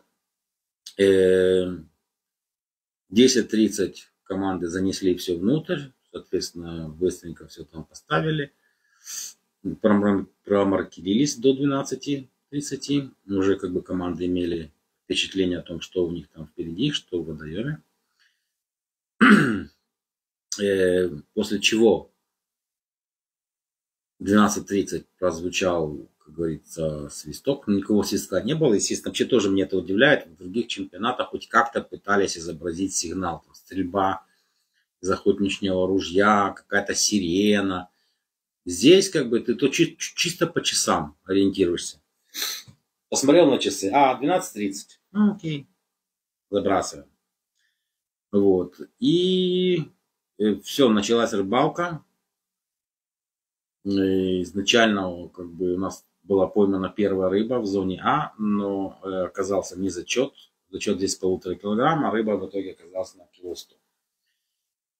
Вот. Но уже после этого, уже когда мы уезжали, начало расклевываться, и у нас фактически получается две рыбы э, в зоне э, Б и одна рыба в зоне, или наоборот, или одна рыба в зоне С, точнее в зоне С рыбы пока нет. То есть Б и А у нас рыба есть, и она зачетная. Э, но так как эм, местные судьи, они сделали один обход, э, и этот обход был в районе трех часов дня. Игорь, я скажу так, что главный принцип, один из как бы тренер поставил конкретные цели для команд. Первая цель – это э, взять первую рыбу, чтобы в каждой двойке, в каждой зоне, в каждой, в каждой зоне была рыба. Это первая цель. Вторая цель – сделать соседей. Третья цель – сделать подзону. Четвертая цель – сделать зону. Как бы надо двигаться по нарастающей. Вот, так что пока у нас, э, то есть судьи взвесили, и этот протокол, который сейчас есть э, на Фейсбуке, это протокол именно того взвешивания. И э, поэтому получилось, что начали скандалить капитаны команд, говорят, что вы же нам обещали каждые три часа взвешивания. Где оно, это взвешивание? Короче, в итоге они взвесили еще раз но эти результаты уже появятся в утреннем взвешивании. Их, скорее всего, сейчас публиковать не буду, потому что э, результаты вносит Барбара, и они уже пошли отдыхать. Реально, они уже пошли спать. Ну, поздно, людям надо спать. Так что завтра уже будут результаты и вот этого предыдущего, и если будет что-то ночью, и утром. Я думаю, что они где-то часов в 8 утра взвесят, и часов э, в 9 э, опубликуют результаты. Поэтому и я постараюсь часов 9, или как только они появятся, их опубликовать. Эм, вот, в принципе, как бы все. Эм, мы малыми силами пытались следить за э, конкурентами. Но пока особо нечего следить, в общем-то, да тем более у нас и людей не хватает на все. невозможно везде разбросать. Сейчас мы видим, что там вот хорваты пошли хорошо вверх, там сербы хорошо пошли. Может быть, за ними надо было посмотреть. Но у нас просто людей нет. На всего не разорвешься. Ну, ладно. Мы все равно победим. Нам фиолетово, на что там ловят наши соседи. Э, в районе сектора Б есть э, кафетерий. Там очень вкусно как бы можно покушать. Проблема в том, что спортсменам выйти из сектора нельзя. Но завтра им э, вроде бы как должны сделать кейтеринг, тем, кто захочет, конечно. И, ну, и развозить его придется нам. я уже об этом говорил, что у них нет доставки в зоны, то есть э, доставят просто одну точку, оттуда забирайте и развозите как хотите. Как для меня проблема это только в том, что если будет, э, например, что-то горячее, там суп, ну, я боюсь, что пока он доедет до команды, он уже будет э, холодный. Погода замечательная. Плюс 20 днем, где-то плюс 6-4 ночью. Э, дождик был пятиминутный днем. Э, на солнце было очень даже жарко, реально. Ну, там проблема в том, что ты только заходишь в тень, сразу становится холодно. Как э, у нас с кондиционерами. Заходишь в автобус кондиционер, выходишь на улицу, плюс 37. Ну, в общем, а потом удивляемся, почему насморк. Э, и обещают, что погода такая будет плюс-минус до, вплоть до субботы. То есть благоприятная для спортсменов, что не будет э, каких-то там катастроф, ураганов, дождей. Завтра тоже обещают дожди, ну 2 миллиметра осадков в час. Ну, что такое 2 миллиметра? Вообще фигня. Так что нормально. Эм, все, как бы у нас больше э, ничего особо такого нет. Сейчас вот наши там тренера внизу на первом этаже ведут бурную дискуссию, я даже сюда ее слышу. Обсуждают день, обсуждают результаты, что они получили то, что собрали наши э, помощники, Вадим Златкин, вообще просто чудо. Он там так подробную информацию собирает, там вплоть до минуты, какую минуту, какая команда, что забросила, какого цвета и на какое расстояние. Вот. Ну и, соответственно, и других, там же Гена тоже бегает, Игорь бегает. И Костя сейчас, так как он у нас запасной, э, то он э, помогает в качестве просто раннера помощника. Он тоже смотрит за другими командами, что они делают, может быть, что интересненькое можно там узнать. Эм, завтра в 10 часов будет встреча капитанов, на которую мне надо каким-то образом попасть, учитывая, что у нас сейчас фактически одна машина осталась. Эм, да и все. Все обычная ловля, то есть э, брифинг капитанов, э, я так понимаю, там будут выноситься жалобы на все, что было не так, а много чего не так. Очень много команд жутко недовольны своими секторами. В многих местах сектора просто реально ужасные. Я не знаю, как там можно ловить и жить. Э, там он пишет, там в одном секторе там спортсмен чуть ногу себе не сломал, там чуть шею себе не сломал. Ну там реально, ребята, как бы сектор Э, влажная трава под углом 30 градусов к воде. То есть я, а где палатку поставить? Под уклоном, ну, зашибись, как бы, ты просто из нее выйдешь ногами вперед прямо в водоем. А если бежать к удочкам, ой, это кошмар. Это реально жутко. То есть, как бы, ну, по дереву стучу, да, нашим попали сектора, которые с точки зрения логистики, ну, очень хороши. Да, есть уклон, но возможность поставить нормальную палатку есть у всех команд. Все команды поставили себе э, платформы для заброса. Э, у Антона она была не столь актуальна, но они тоже ее сделали, потому что раз привезли, надо ставить. Но вот у братьев э, и у команды Бинго, да, эта платформа, она там, в принципе, без нее нормальный заброс сделать нереально, потому что если у вас уклон, то у вас нет нормального упора, чтобы прогрузить удилище и делать заброс. А вот как раз где братья стоят, там, э, насколько мы знаем, нужен дальний заброс относительно.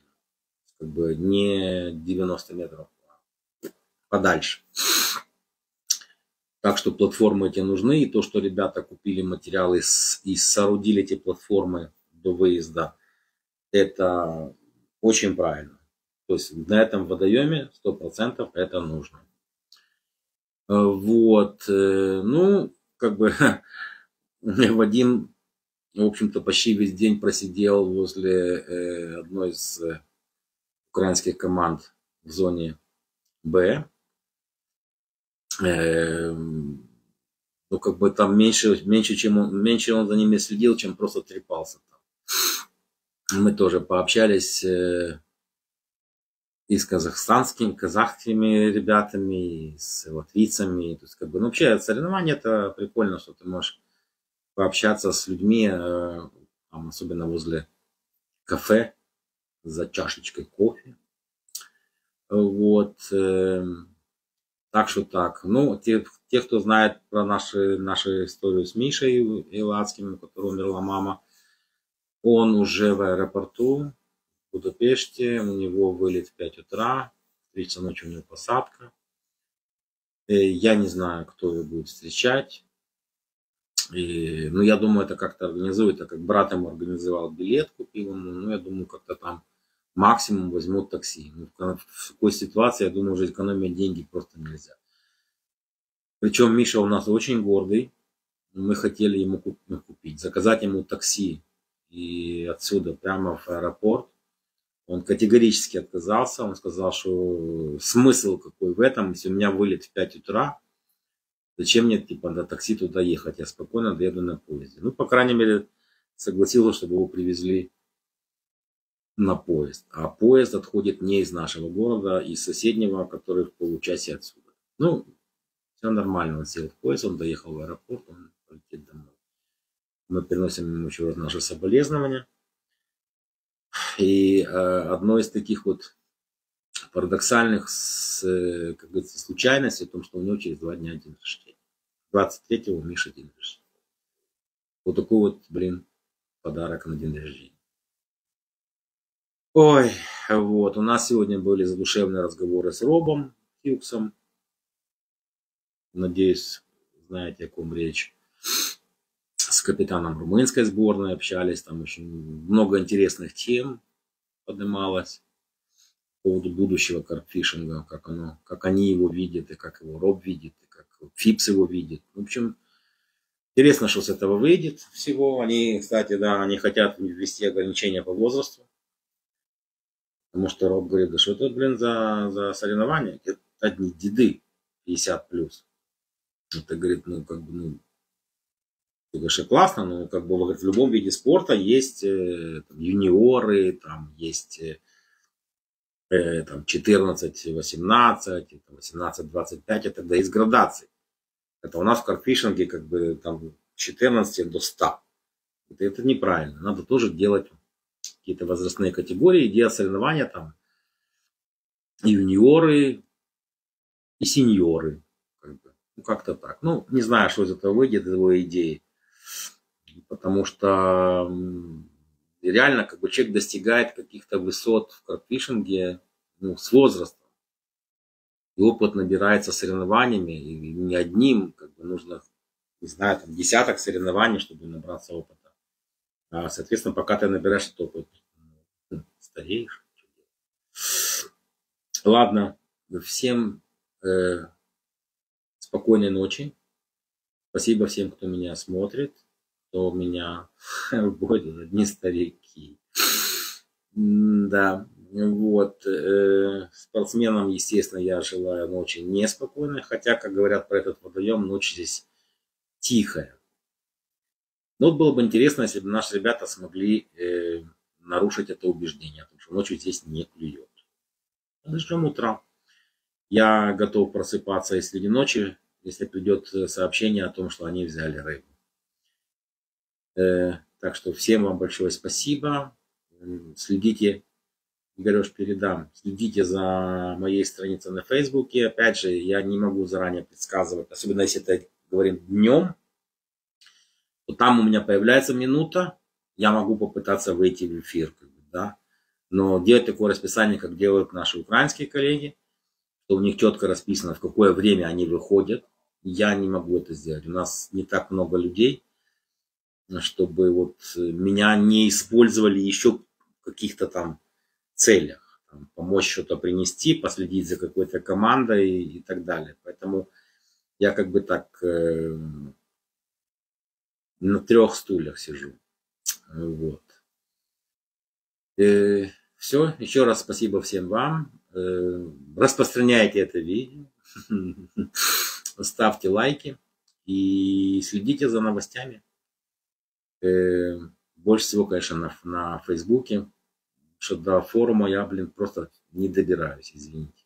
Сейчас попробую на форуме тоже что-то написать, потому что я так понял, много людей не имеют счетов на Фейсбуке, соответственно, не знают вообще, что происходит. Все, спасибо всем, всем отдыхать. Завтра тяжелый день, а нам надо бороться. Всем, кто заходит в наше здрасте венгерское. Как ну будет, ну, этот, господи, добрый вечер я забыл. Вот как будет добрый день, я помню. Йонапот. Йонапот. Мне больше нравится, когда мой стрим смотрят э, израильтяне, которые не понимают ни слова. Но как мне написал наш один из наших любимых друзов, Аджуат, он мне написал, мне, говорит, не важно, что ты там говоришь, мне, говорит, на тебя просто смотреть приятно. Вот какой человек. Просто смотреть на меня ему уже хватает, без всяких моих э, объяснений, без понимания, о чем я вообще говорю. А, вот. Э, здравствуйте всем, кто присоединяется. Э, сегодня у нас было 20, было, что пока есть, 22 сентября 2022 года идет, точнее, прошел второй день чемпионата мира по карфишингу, который проходит на озере Деседа в городе Капушвар в Венгрии. Эм, кто не знает, что это водоем, идите, почитайте. В принципе, водоем очень красивый, э, достаточно большой. Как все водоемы Европе, он используется для разных видов рыбалки. Очень любят фидеристы, и как бы тут же тут и спиннингисты тоже очень любят, потому что есть судак, есть щука. То есть, короче, такой стандартный вот водоем с, с европейской рыбой. Ну и, естественно, карп и амур. Единственное, что вот во всех результатах, которые пока на сегодняшний день видел, Амура я не видел. То есть везде записано карп, карп, карп, карп. Не знаю. Я знаю, что в 2017 году был Амур, и на Амуре некоторые команды сделали себе карьеру. Вот. Эм, смешно, что за нами следят э, разные люди, ну, следят в хорошем... Эм, Слав, сейчас я все расскажу. В хорошем смысле слова следят, то есть как бы болеют за нас люди, которых я этого не ожидал. Вы, вы, вы, наверное, удивитесь, но за нас болеет хозяин компании Дуди Байтс румынской, который, в принципе, должен болеть за свою румынскую сборную. Но он мне только что написал, что мы просто очень крутые, и чтобы мы так держали, и дал там еще пару советов. Э, ну, правда, я не уверен, что мы будем к ним прислушиваться, но на всякий случай, вы понимаете. Вроде человек от души пишет, а мало ли чего, может у него там задача не дать нам подняться выше. Ну, хорошо. Э, вот, за нас очень сильно болеет э, наш бывший тренер, который у нас был, когда мы ездили в Сербию, Мине Болесников. Постоянно следит за результатами, тормошит меня бесконечно, напиши там, что как, где как, кто как, кто ловит. Ну, приятно просто, что есть люди, которые реально болеют за нашу сборную, и они не израильтяне, не евреи, как бы и вообще вот. По поводу результатов, если вы следите за моей страницей на Фейсбуке, то я, в общем-то, там как бы публикую эти, ну, как они называются, таблицы. Я опубликовал последнюю, интересно посмотреть. Да, да, я опубликовал, та, которая вышла в 19 часов. Это последняя, которая была официальная, в которой Дима я тебя понимаю, но смотри, ваши там реально рвут. Я не знаю, что там за секрет они открыли, но они реально рвут водоем. То есть, как бы они очень хорошо пошли. Вот. Эм, если вы посмотрите на таблицы, которые я выставлял после 19 часов, то мы до сих пор на шестом месте. И там не учтены еще рыбы, которые есть у наших ребят. Эм, поэтому есть шанс, э, может быть, даже подняться выше шестого места. Я не уверен, что это будет очень надолго, потому что мы же сражаемся с очень сильными командами. Мы сражаемся с командами, многие из которых были неоднократными чемпионами мира. Ну, вот, а наш лучший результат – молдавская кукуруза. Ну, ладно, поверим, эм, что как бы мы сражаемся с сборными, которые реально сильны. И мне, то есть, я лично очень горд тем, что мы сейчас находимся как бы в этом списке, списке этих команд, которые вот доказывали неоднократно, что они могут, хотят, не могут. Вот. Ну, посмотрим, ребята, как вы понимаете, это придает им энтузиазм, заряжает их энергией, потому что, как бы, когда тебя нет рыбы, у тебя не клюет, и на последнем месте, то ты в итоге опускаешь руки. Очень часто как бы, команды просто сдаются до окончания соревнований. Они не верят уже ни во что, они просто уже говорят, да ну, шансов нет. А вот те команды, которые таки, да, до последнего сражаются, часто бывают ситуации, когда, ну, может быть, не на первое место, но, по крайней мере, как бы могут подняться и на пятое, и на третье, иногда даже бывало такое, за, за ночь поднимались. А вот посмотрите, какой клев на этом воде. Ну, никакого клева между нами девочками. Если мы глядим на эти таблицы, то, ну, блин, э, где моя таблица? Дайте мне это.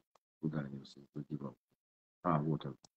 То есть, как бы, смотрите, как бы у нас сейчас 14, 28 стран, из которых у вас есть 4 страны с одной рыбой, есть куча стран с двумя-тремя рыбами, э, и вот там ну, буквально несколько, у которых больше четырех рыб. 8, 9, 17, 11, 15 и так далее. Но это исключение из правил, это не правило. Да, это я Диме. Но Jetstream не здесь, к сожалению. И это мало что кому поможет. Потому что у нас-то по-любому этого нет, понимаешь. Так что такое дело. Но как бы хорошая реклама вашей продукции, я скажу, если это так. Вот. Эм, завтра у нас день заноса, э, доноса, точнее, э, прикормки. По правилам с 10, с 10 утра до 12 часов дня можно донести прикормку командам. Сейчас вон там внизу бурлит работа, ребята варят, жарят, парят, готовят. Потому что есть команда, у которой кое-что уже заканчивается, есть команда, у которых все хватает. Ну, короче, в общем, будем это делать. Э, самая большая проблема с этим в том, что въезд машин на территорию водоема запрещен, а от стоянок до э, секторов команд, там от 500 до километров, 500 метров до километра. И это вот все тащить на себе, это несколько тяжело. Особенно, когда у тебя там какие-то ведра тяжеленные, большие. Это, ну, я не знаю, как они будут сказать честно. Но они вроде молодые, спортивные, там у нас все помощники. Я бы не взялся за это, честно. Не, не обижайтесь, но тащить, э, скажем, там 100 килограмм на расстоянии полукилометра, это уже не мой вид спорта. Э, Сереж, спасибо. И, естественно, чаек у нас есть, мед, правда, нет, но есть лимон. Ну, будем лечиться. Но это уже, когда я с вами сейчас покончу, я уже пойду пить чаек. Э, что у нас остается? У нас остается завтрашний день и остается э, суббота до 12 часов мая. Какая тележка? Во-первых, нам надо три тележки, не одну, потому что время очень ограничено. Э, хотя, с другой стороны, у нас все равно одна машина. Да, машина одна, поэтому разводить придется с одной машиной, и это тяжко. Наверное, будет выглядеть так, что Олег подъезжает, скажем, в начало зоны А, сбрасывает там того, кто будет это таскать в зону А, и мчится дальше бегом-бегом в зону B. Сбрасывает в зоне B того, кто будет таскать там, и мчится дальше в зону С. Ну, как-то так. В общем, тяжко будет. Хотя тяжко будет. Можно подумать, что сегодня и вчера это были прям такие пляжные прогулки. И тоже вот вы, даже вы, я, он не запрещает его фотографировать после приезда сюда. Правильно делает, потому что если вы бы меня посмотрели, вы бы это самое испугались просто, как выглядит тренер, когда он э, выжат как лимон э, и сидит и как рыба. Чем-то могу помочь? Да. А ну махни ручкой еще раз. Всем привет. Вадика узнали все. Вот, это один из наших незаменимых помощников. Молодой спортивный боец, как говорится. Бегун на дальней дистанции, фотограф, шпион. Господи, сколько у него специальностей на этом водоеме сразу. Вот. Э, кстати, да, я, я не помню, я говорил спасибо, не говорил спасибо. Э, вот Саша Прайс, я вижу, зашел. Его друзьякам, которые меня сегодня привезли с э, брифинга капитана, потому что Олег меня там подло бросил, сказал, пешком пойдем. Оттуда пешком, ну, я думаю, километров 8 вокруг озера. Может, даже больше, не знаю, надо посчитать. Ну, короче, меня усадили в шикарную машину и отвезли прямо к буфету. Спасибо большое ребятам. Э, Вот. э, Сейчас нам привезли флаги спонсорские в компании Катран. Должны были доставить к началу соревнований, но, как всегда, получается все через э, DHL. Вот. И DHL их привез только сегодня. Поэтому они появятся в секторах завтра. Компания Катран нам очень помогла. Она помогла и в качестве спонсора, э, выделив для спортсменов э, расходные материалы. Плюс она помогла нам с заказом шикарной формы. Э, Вот. И эм, продала нам эту форму, как бы, то есть она не бесплатная, эта форма, но она стоит намного дешевле, там раза в два дешевле, чем она стоит официально в магазине. Значит, тем, кто не услышал, чем закончилась история с медом, у нас было просто очень-очень мало времени на магазин, потому что ребятам еще очень много чего нужно делать, готовить э, прикормку на завтра, варить, кипятить, замачивать. э, короче, работы много. А все ужасно устали, все хотят спать, а вставать в полшестого. Поэтому как бы мы пробежали через супер просто как через, э, ну так, на ходу хватая с пола продукты, закидывая их в этот в тележку. Естественно, как бы про мед я не подумал. Вот. Я не знаю, вы слышали или нет насчет воды, что я как бы хапанул упаковку воды, она оказалась газированной, которую я очень люблю. О, вот и тренер идет. Тренер, не хочешь сказать пару слов на сегодняшний хороший день? М? Ну, как бы я не знаю, что он был был тяжелый день. нет, ну, беседер, он был тяжелый. Да. Ну, вот, э, товарищ, привет. это наш тренер, главный герой сегодняшний, который жизнь свою кладет на алтарь. Да. И здоровье свое кладет. Да. И как бы... Да. Да, да. И, Видишь, короче, многословен. да, он, короче, хороший. Любите его. Ну, я не знаю даже, как бы сказать. Работаем. Работаем. Сейчас сидели, был тренерский совет, разрабатывали стратегию на завтра. Сейчас же ночь, ночью сейчас заново дали распоряжение всем командам по ловле, куда, где, почем и как. Ну и надеемся, что Верим. Надеемся? Нет, мы верим. верим. Мы верим в то, что... Немножко распогодится и начнется рыбалка, потому что сегодня рыбалки не было. Я об этом упоминал, что по результатам взвешивания видно, что ну очень плохо. Да. Она и вчера не сильно волновалась. Ну, так все, как бы, как много не сказать, не проговориться. Да, чтобы не раскрыть наши секреты, все, тренера отпускаем. Тренера отпускаем. И снова появляется. А я появляется, блин. Извиняюсь, я вас немножко звуком в голове тюкнул. А, Вот. Там вокруг этого озера, когда вы э, смотрели это мой дневной стрим, там куча всяких деревьев. Я вот сегодня вот надыбал орешек. Прям на дереве. Там полно орехов. Можно насобирать и домой везти. Э, жена любимая, секретов огромное количество. Никому не выдадим, даже под, под пытками. Э, Вот, э, только за хорошие деньги. Но пока никто денег не предлагал, поэтому ну, уже извините. М, Вот, я понимаю, что у вас как бы уже пол одиннадцатого, и вам надо идти ложиться спать. Ха, вези. Хотя у нас, как бы, вот, что называется, в грустном тоже бывают свои какие-то моменты. У нас же, получается, сейчас есть еще один лишний самолетный билет с лишним багажом. Это был телефон Дрям. Эм, У нас теперь появился, как бы, к сожалению, к сожалению, появился лишний багаж, ну, как бы, багажные места. Так что можно пару орешков набрать. Э, завтра, как я сказал, будет довоз прикорма. Из-за того, что он будет с 10 до 12, встреча капитана переносится на 3 часа дня. И я реально уже не знаю, есть ли смысл на нее ехать. Скажем, украинские команды обычно не ездят на эти брифинги, потому что, как бы, ну, даже не знаю. Я на самом деле сегодня было несколько вопросов, которые реально э, надо было поднимать и задавать. И если бы их не, за- не задали, то были, была бы неразбериха. Поэтому я не знаю, как бы, мне кажется, что надо, ну, там, ну, по крайней мере, на первый брифинг, который происходит на второй день, надо ходить. Потому что за этот день, когда начался турнир, накапливается огромное количество жалоб и недоразумений, и с судьями, которые неправильно делают что-то, и судьи, которые очень плохо говорят по-английски или вообще не говорят по-английски. Невозможно с ним объясниться и что-то ему сказать.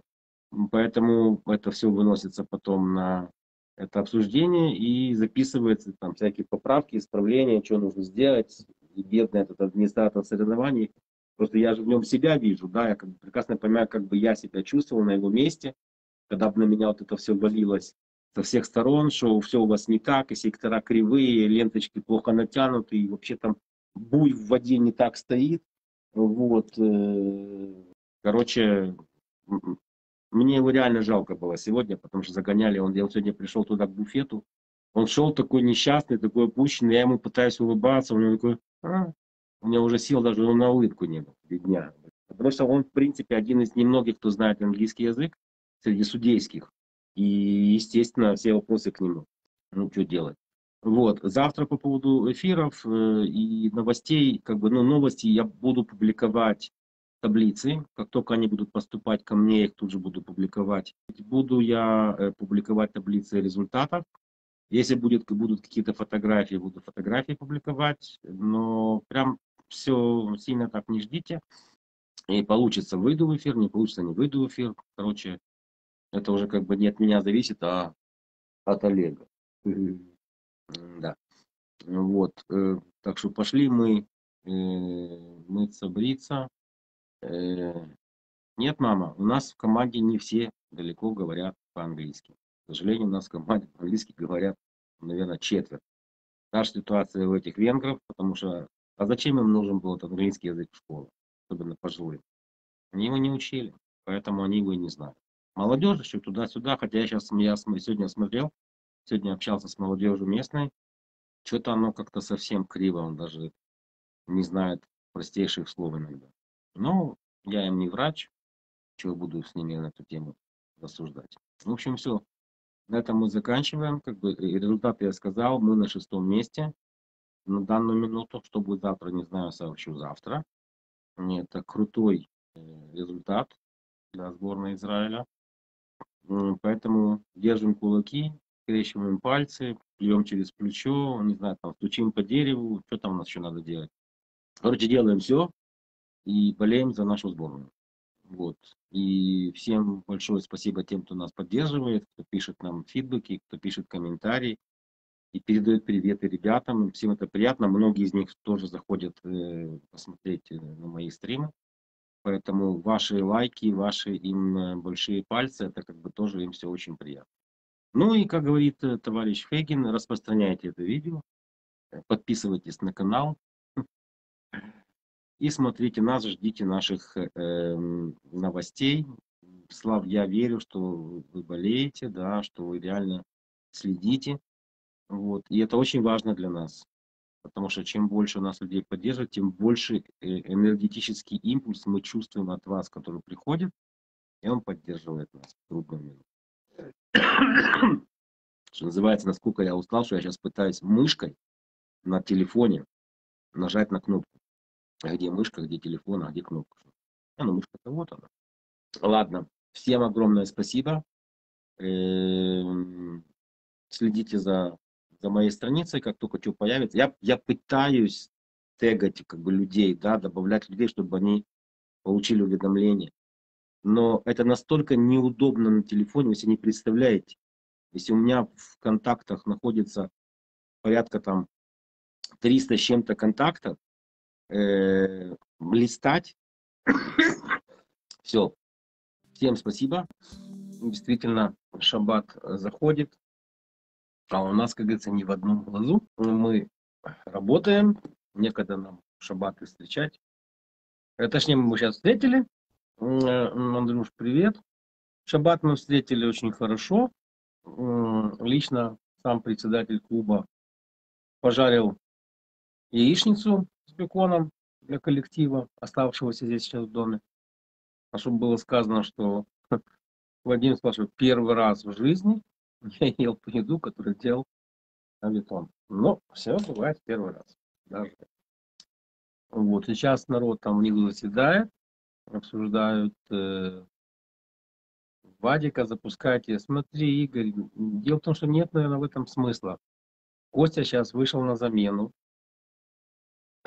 Он заменил Антона. Костя свежий, бодрый, молодой лоб, который может далеко кидать.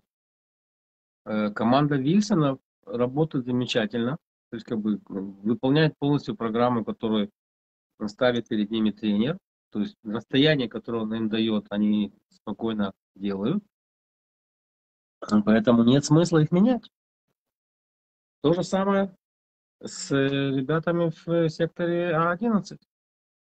Как бы все там нормально, нет необходимости. Вот один из спортсменов у нас тут бродит по квартире.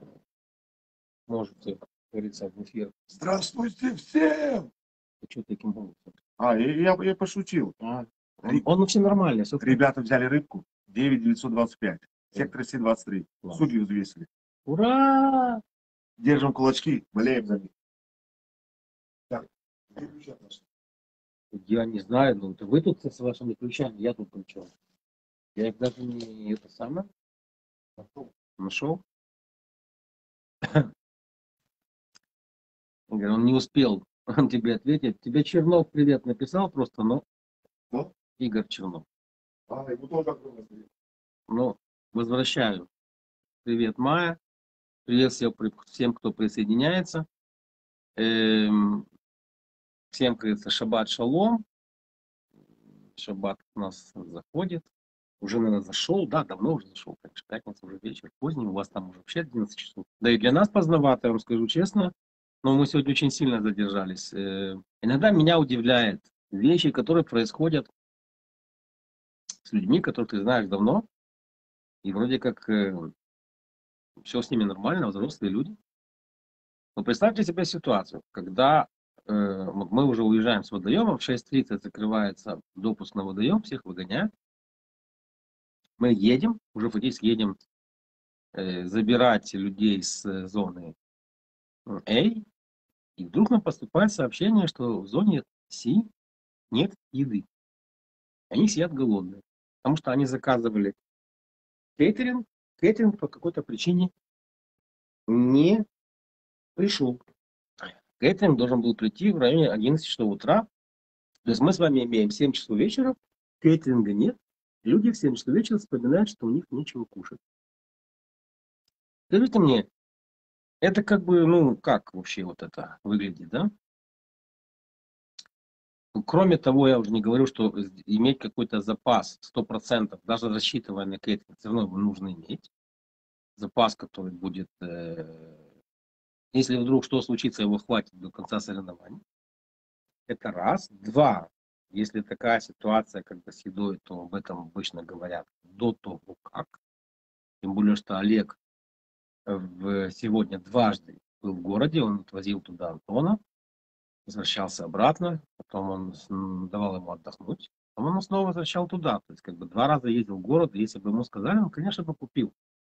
Но проблема в том, что в 7 часов вечера все маленькие магазины местные, локальные, они закрыты. Они закрываются еще в 5. И работают только крупные суперы, которые находятся в городе. А озеро – это не город, это за городом. Поэтому там как бы невозможно купить продукты. Ну, короче, пришлось нам ехать э, в этот в зону B, там есть буфет, заказывать для ребят. ребят. Купили ребятам два шикарных гамбургера за бешеные деньги, отвезли их, накормили. Ну, не знаю. Для меня лично это странновато. Э, То, что не довезли кейтеринг, так если бы мне об этом сказали там в два часа, я бы поднял скандал, я бы начал там истерить и, ну, не знаю, привезли бы. Или мы бы опять же привезли. Но говорить об этом в 7 вечера. Я с утра, меня Олег завез э, в зону А. Пешочком я до- дотелепался до нашего сектора А11. Там я расположился. У меня уже был стульчик, который остался в память о Михе, который уехал. Эм, Там у них очень шикарное место. Если посмотрите ссылку на видео, которое я выставил на Фейсбуке, на... так как в, том, в той зоне как бы связи вообще никакой нет интернета, поэтому э, пришлось мне там снимать видео вместо, вместо эфира. Вот, и я это видео, ссылку на него, то есть я его загрузил на YouTube, а ссылку поставил на Facebook. Можно посмотреть, увидите, какой там шикарный сектор, там просто прелесть. Вот, я там пробовал до обеда, даже умудрился у них поспать. Я все ждал, когда же они наконец поймают рыбу, чтобы в прямом эфире показать, Андрей, я понимаю, я, ты себе даже не представляешь, насколько, какие планы я строил, и моя семья какие планы строила на этот чемпионат мира в Украине. Э, может, кто-то не знает, но я вообще-то киевлянин, родился и вырос там. И, естественно, я там не был с 95 -го года. И, естественно, я очень бы хотел там побывать.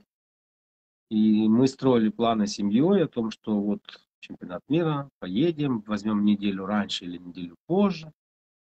Обязательно поедем по местам боевой славы папочки с меня. Вот, покажу детям, где я жил, где я родился. Но, как вы знаете, не сложилось чемпионата мира в Украине, к нашему огромному сожалению. Я верю в том, что рано или поздно он там пройдет. Но пока приходится довольствоваться Венгрией и этим подъемом, который мне, честно говоря, он мне нравится визуально, но я смотрю на, на результаты и я не знаю, что вам сказать. Я понимаю прессинг, но мне кажется, здесь все-таки мало рыбы. Ну, не такой он уже и зарыбленный, как говорили. Ладно, это все отступление. Короче, ребята, я просидел до обеда, клевала рыба, но это был лещ. Э, потом я решил, что что там уже сидеть, уже близко к вечеру, скоро закрывается. Э, и я пешочком потопал в зону Б. Ну, там, не знаю, полтора километра пешком. Короче, по очень красивым местам, по лесу, там, в общем, классно.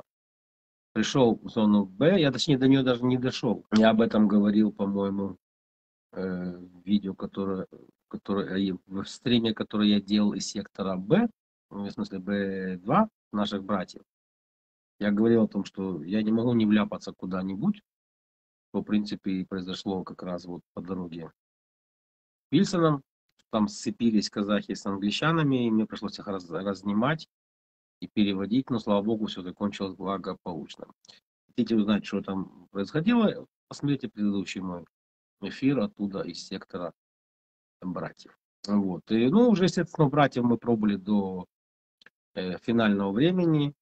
Э, как бы я, а, да, я пришел как раз в момент, когда взвешивали рыбу, которую братья поймали буквально за пару минут до моего прихода. То есть это было тоже очень радостное событие. Рыба зачетная, взвесили, как бы все замечательно. Вот. Эм, но, к сожалению, по результатам последнего вечернего взвешивания нас э, сдвинули с шестого места на девятое. Вполне нормально, потому что есть команды, которые были с нулем, и они сейчас начали э, ловить рыбу, то есть начинается изменение этих баллов рейтинга. Мы съехали на девятое место, но у нас есть шансы вернуться обратно. Вернуться обратно, как бы хотя бы снова туда же на шестое место, а желательно намного выше. Ну, понятно, сборную Молдавии нам вряд ли удастся догнать. Разве что наши ребята поймают лохнесское чудовище, которое засчитают.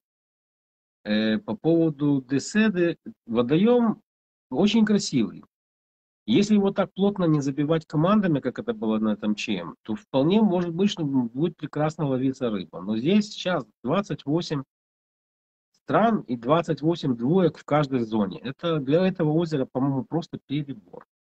Здесь нужно делать соревнования, где будут участвовать, ну, я не знаю, там, максимум 60 команд на весь водоем, чтобы можно было каждую двойку посадить Э, индивидуально, чтобы было, были большие расстояния. То есть речь вот о этих спортивность, э, я вам скажу, честно, ерунда. Потому что какая-то фигня получается. У каких-то команд, в каких-то зонах спортивность. То есть команды сидят в грядочку. Там 4-5 команд. В другом месте, в другой зоне команда сидит как король на именинах. У нее 40 метров ее кусок как бы с ее рингом 20, и до ближайших э, команд справа-слева еще по 40 метров. Вообще шикарно. А есть команды, которые вообще как бы отдельно сидят, потому что у них э, береговая линия так изгибается, что там по-другому не сделаешь. Где здесь спортивность? Как бы, ерунда какая-то выходит. Если уже хотите спортивность, надо найти береговую линию, которая будет прямая, и там посадить все команды, сколько туда влезет, и все. И не рассаживать нигде больше. Вот. Ну, это мое личное мнение. Как бы. Водоемы такие с, с рельефные, у которых очень изрезанная береговая линия, мне кажется, они не очень удобны для таких мероприятий. Вот. э, Мы умеем ловить прессинги. Все это классно, но проблема в том, что ведь не только мы плохо ловили, и как бы у нас не получалось. Очень много команд, причем хороших команд, у них тоже были проблемы. Не могли уйти от нуля, или там одна рыба и все. Так что здесь опыт э, это такое дело. Тут все-таки, наверное, больше, ну, я даже не знаю, как сказать. Ну, сейчас мы знаем, что на сегодняшнюю минуту, на текущую минуту, ловят тех, кто кидают за 180. Ну, вот как-то так. И тут опыт, не опыт такое дело. Так, народ сейчас идет сюда, будет шуметь. Поэтому э, я вкратце скажу про завтрашний день. Э, завтра он финальный день э, чемпионата. Чемпионат заканчивается в 12.30. Э, нам надо будет туда поехать тремя машинами для того, чтобы э, три двойки загружать по отдельности, а не заниматься этим геморроем, который делала это, как она называется, называется, ассоциация. Да, Молдавия ловит далеко. И в итоге, как бы, то, что мы видели, э, лазя по берегу, э, так что все команды в итоге ушли очень далеко. Максимально далеко, сколько они могут. Нет, есть, есть такие сектора, где нет необходимости уходить далеко. Скажем, есть сектора, в которых, например, э, там на стороне 70-80 метров находится какое-то что-то определенное на дне, там, скажем, какая-то там зимовая яма, не знаю, канава, что-то. И там есть рыба. Замечательно. Как бы команда попала в этот сектор, попадает в эту рыбу. И все в порядке. Что такое стишок, я не понял. Наверное, со стиком имеется в виду. Э, многие команды ловят без стика. Так что это такое дело. Э, завтра дождемся финала. Загрузим спортсменов. Отвезем домой. Дома перегрузим машины. все, что личные вещи ребята заберут. Все, что э, касается аренды. То, что мы брали в аренду у Ливии, значит, мы загружаем в ее машину, которую она нам дала. Эм, отгоним машину к ней. Не знаю, если она там будет, не знаю, я бы ее поцеловал лично, потому что, ну, столько всего она для нас сделала. Вот. эм, после чего отдых, мытье, бритье. Вечером 6 часов э, этот, как он называется, э, гала-концерт. Ила немного. Вообще в разных секторах по-разному, если. Гала-концерт. эм, Можем торгануть билетом. У нас один лишний есть. Там никому не надо. По 50 евро. Эм, После чего, опять же, отдыхать. В воскресенье у нас официально дом до 11 утра, но мы получили разрешение от хозяина пробыть здесь только. Э, Она, кстати, твоих лет на самом деле. Значит, эм, нам дали решение быть до трех часов дня. Больше, к сожалению, они не могут, потому что дом уже снят на, вос- на понедельник. Им нужно его убрать после нас. Мы не то чтобы сильно загадили, но все равно надо полы помыть, подмести, поменять белье и так далее. Все-таки дом не маленький, работы много. Вот. Поэтому мы, как бы, я думаю, что соберем, загрузим машины, все вещи в машину упакуем. Может быть, съездим там в супер э, на прощание купить местные колбасы и сало. Вот. А После чего, скорее всего, поедем в Будапешт искать какой-нибудь ресторан, где можно... Э, Чижик, чижик, параллели. Э, Искать какой-нибудь ресторан, где можно посидеть, перекусить, потому что у нас самолет только рано утром, и нам нужно где-то проволындаться все это время, там три часа, по-моему, начинается посадка. Вот, ну как-то так. Как-то так вот все заканчивается. Погода, опять же, хорошая, днем очень жарко, плюс 24, плюс 23. Ночью температура падает до 4. Э, Ребята сегодня жаловались реально, что они замерзли ночью. Вот, но, как говорится, тут я помочь им не могу. Надо работать, бегать вокруг сектора максимум, внутри квадратик, как Ленин в тюрьме. Вот, или там удочкой махать. Все, вроде сегодня больше таких никаких происшествий не было. Да, как-то так день прошел. Я все сидел в этой зоне С, в зоне А, точнее, ждал поклевки, хотел зафиксировать на, на видео хоть в одной зоне, хоть какую-то рыбу. Ну, не везет мне с этим. Для мне они поймали леща, которого снимать было неинтересно. А братьям Вильсонам я опоздал. Я пришел к ним, когда рыбу уже отпускали. Пару фотографий есть, но это не так интересно. Э, Что случилось с англичанами? Ну, я говорю, посмотрите видео, которое я выложил на Facebook. Там есть э, не видео, а пр- прошлый мой стрим из сектора братьев. Э, По-моему, он должен быть здесь, мне кажется. Да? А, нет, это дневной типа эфир. Да, вот он есть, я его вижу. WCC 2022, 23 число, второй стрим, B2 Russian. Это вот тот самый стрим. Посмотрите, там я рассказываю, что произошло. Я не хочу повторяться. Долго. Короче, все закончилось хорошо. Все, все, все, все живы. Все нормально. Ну Вот. все, пойдем мы, э, говорится, отдыхать, потому что уже начало 11 у нас. Мы просто все как лимончики выжатые. Вот, и надо все-таки нам это тоже умыться, а так как у нас а- а- одна это душевая джакузи, точнее, кстати, тоже джакузи прикольная. Стоя голову помыть нельзя, только сидя. Ну, Потому что этот э, шланг душ, он максимально его подъем это на уровне груди. Как бы, да, не можно, конечно, выдернуть его и стоять и мыть, но это не очень удобно. Вот, так что приходится садиться. Ну ладно. все. На сегодня все. Всем шаббат шалом. Командам неспокойно, неспокойной ночи 100%. Им это все уже пожелали. Да, сегодня день рождения нашего Миши Улицкого и Лацкого. Мы его поздравили. А завтра у нас рождения.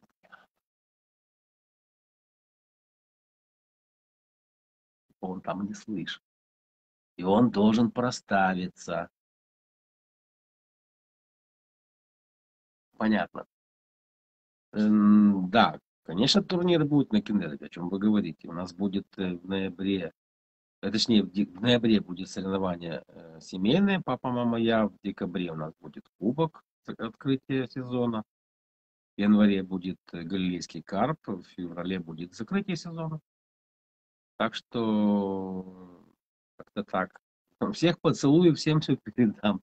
Главное не перепутать. Кому что делать, кого целовать, а кому переда- просто передавать. Все. Завтра просто тоже смотрите э, за моей страницей на Фейсбуке. Я не, не знаю, как все получится. Все спонтанно получается. Есть интернет, есть время, пошел вперед. Поэтому никаких предупредительных выстрелов э, по ногам не будет. Все сразу прямо в голову. Все, как бы ребята работают, э, мы отдыхаем. А вам тоже отдыхать все-таки шаббат. Все. Еще раз шаббат шалом всем. Спокойной ночи.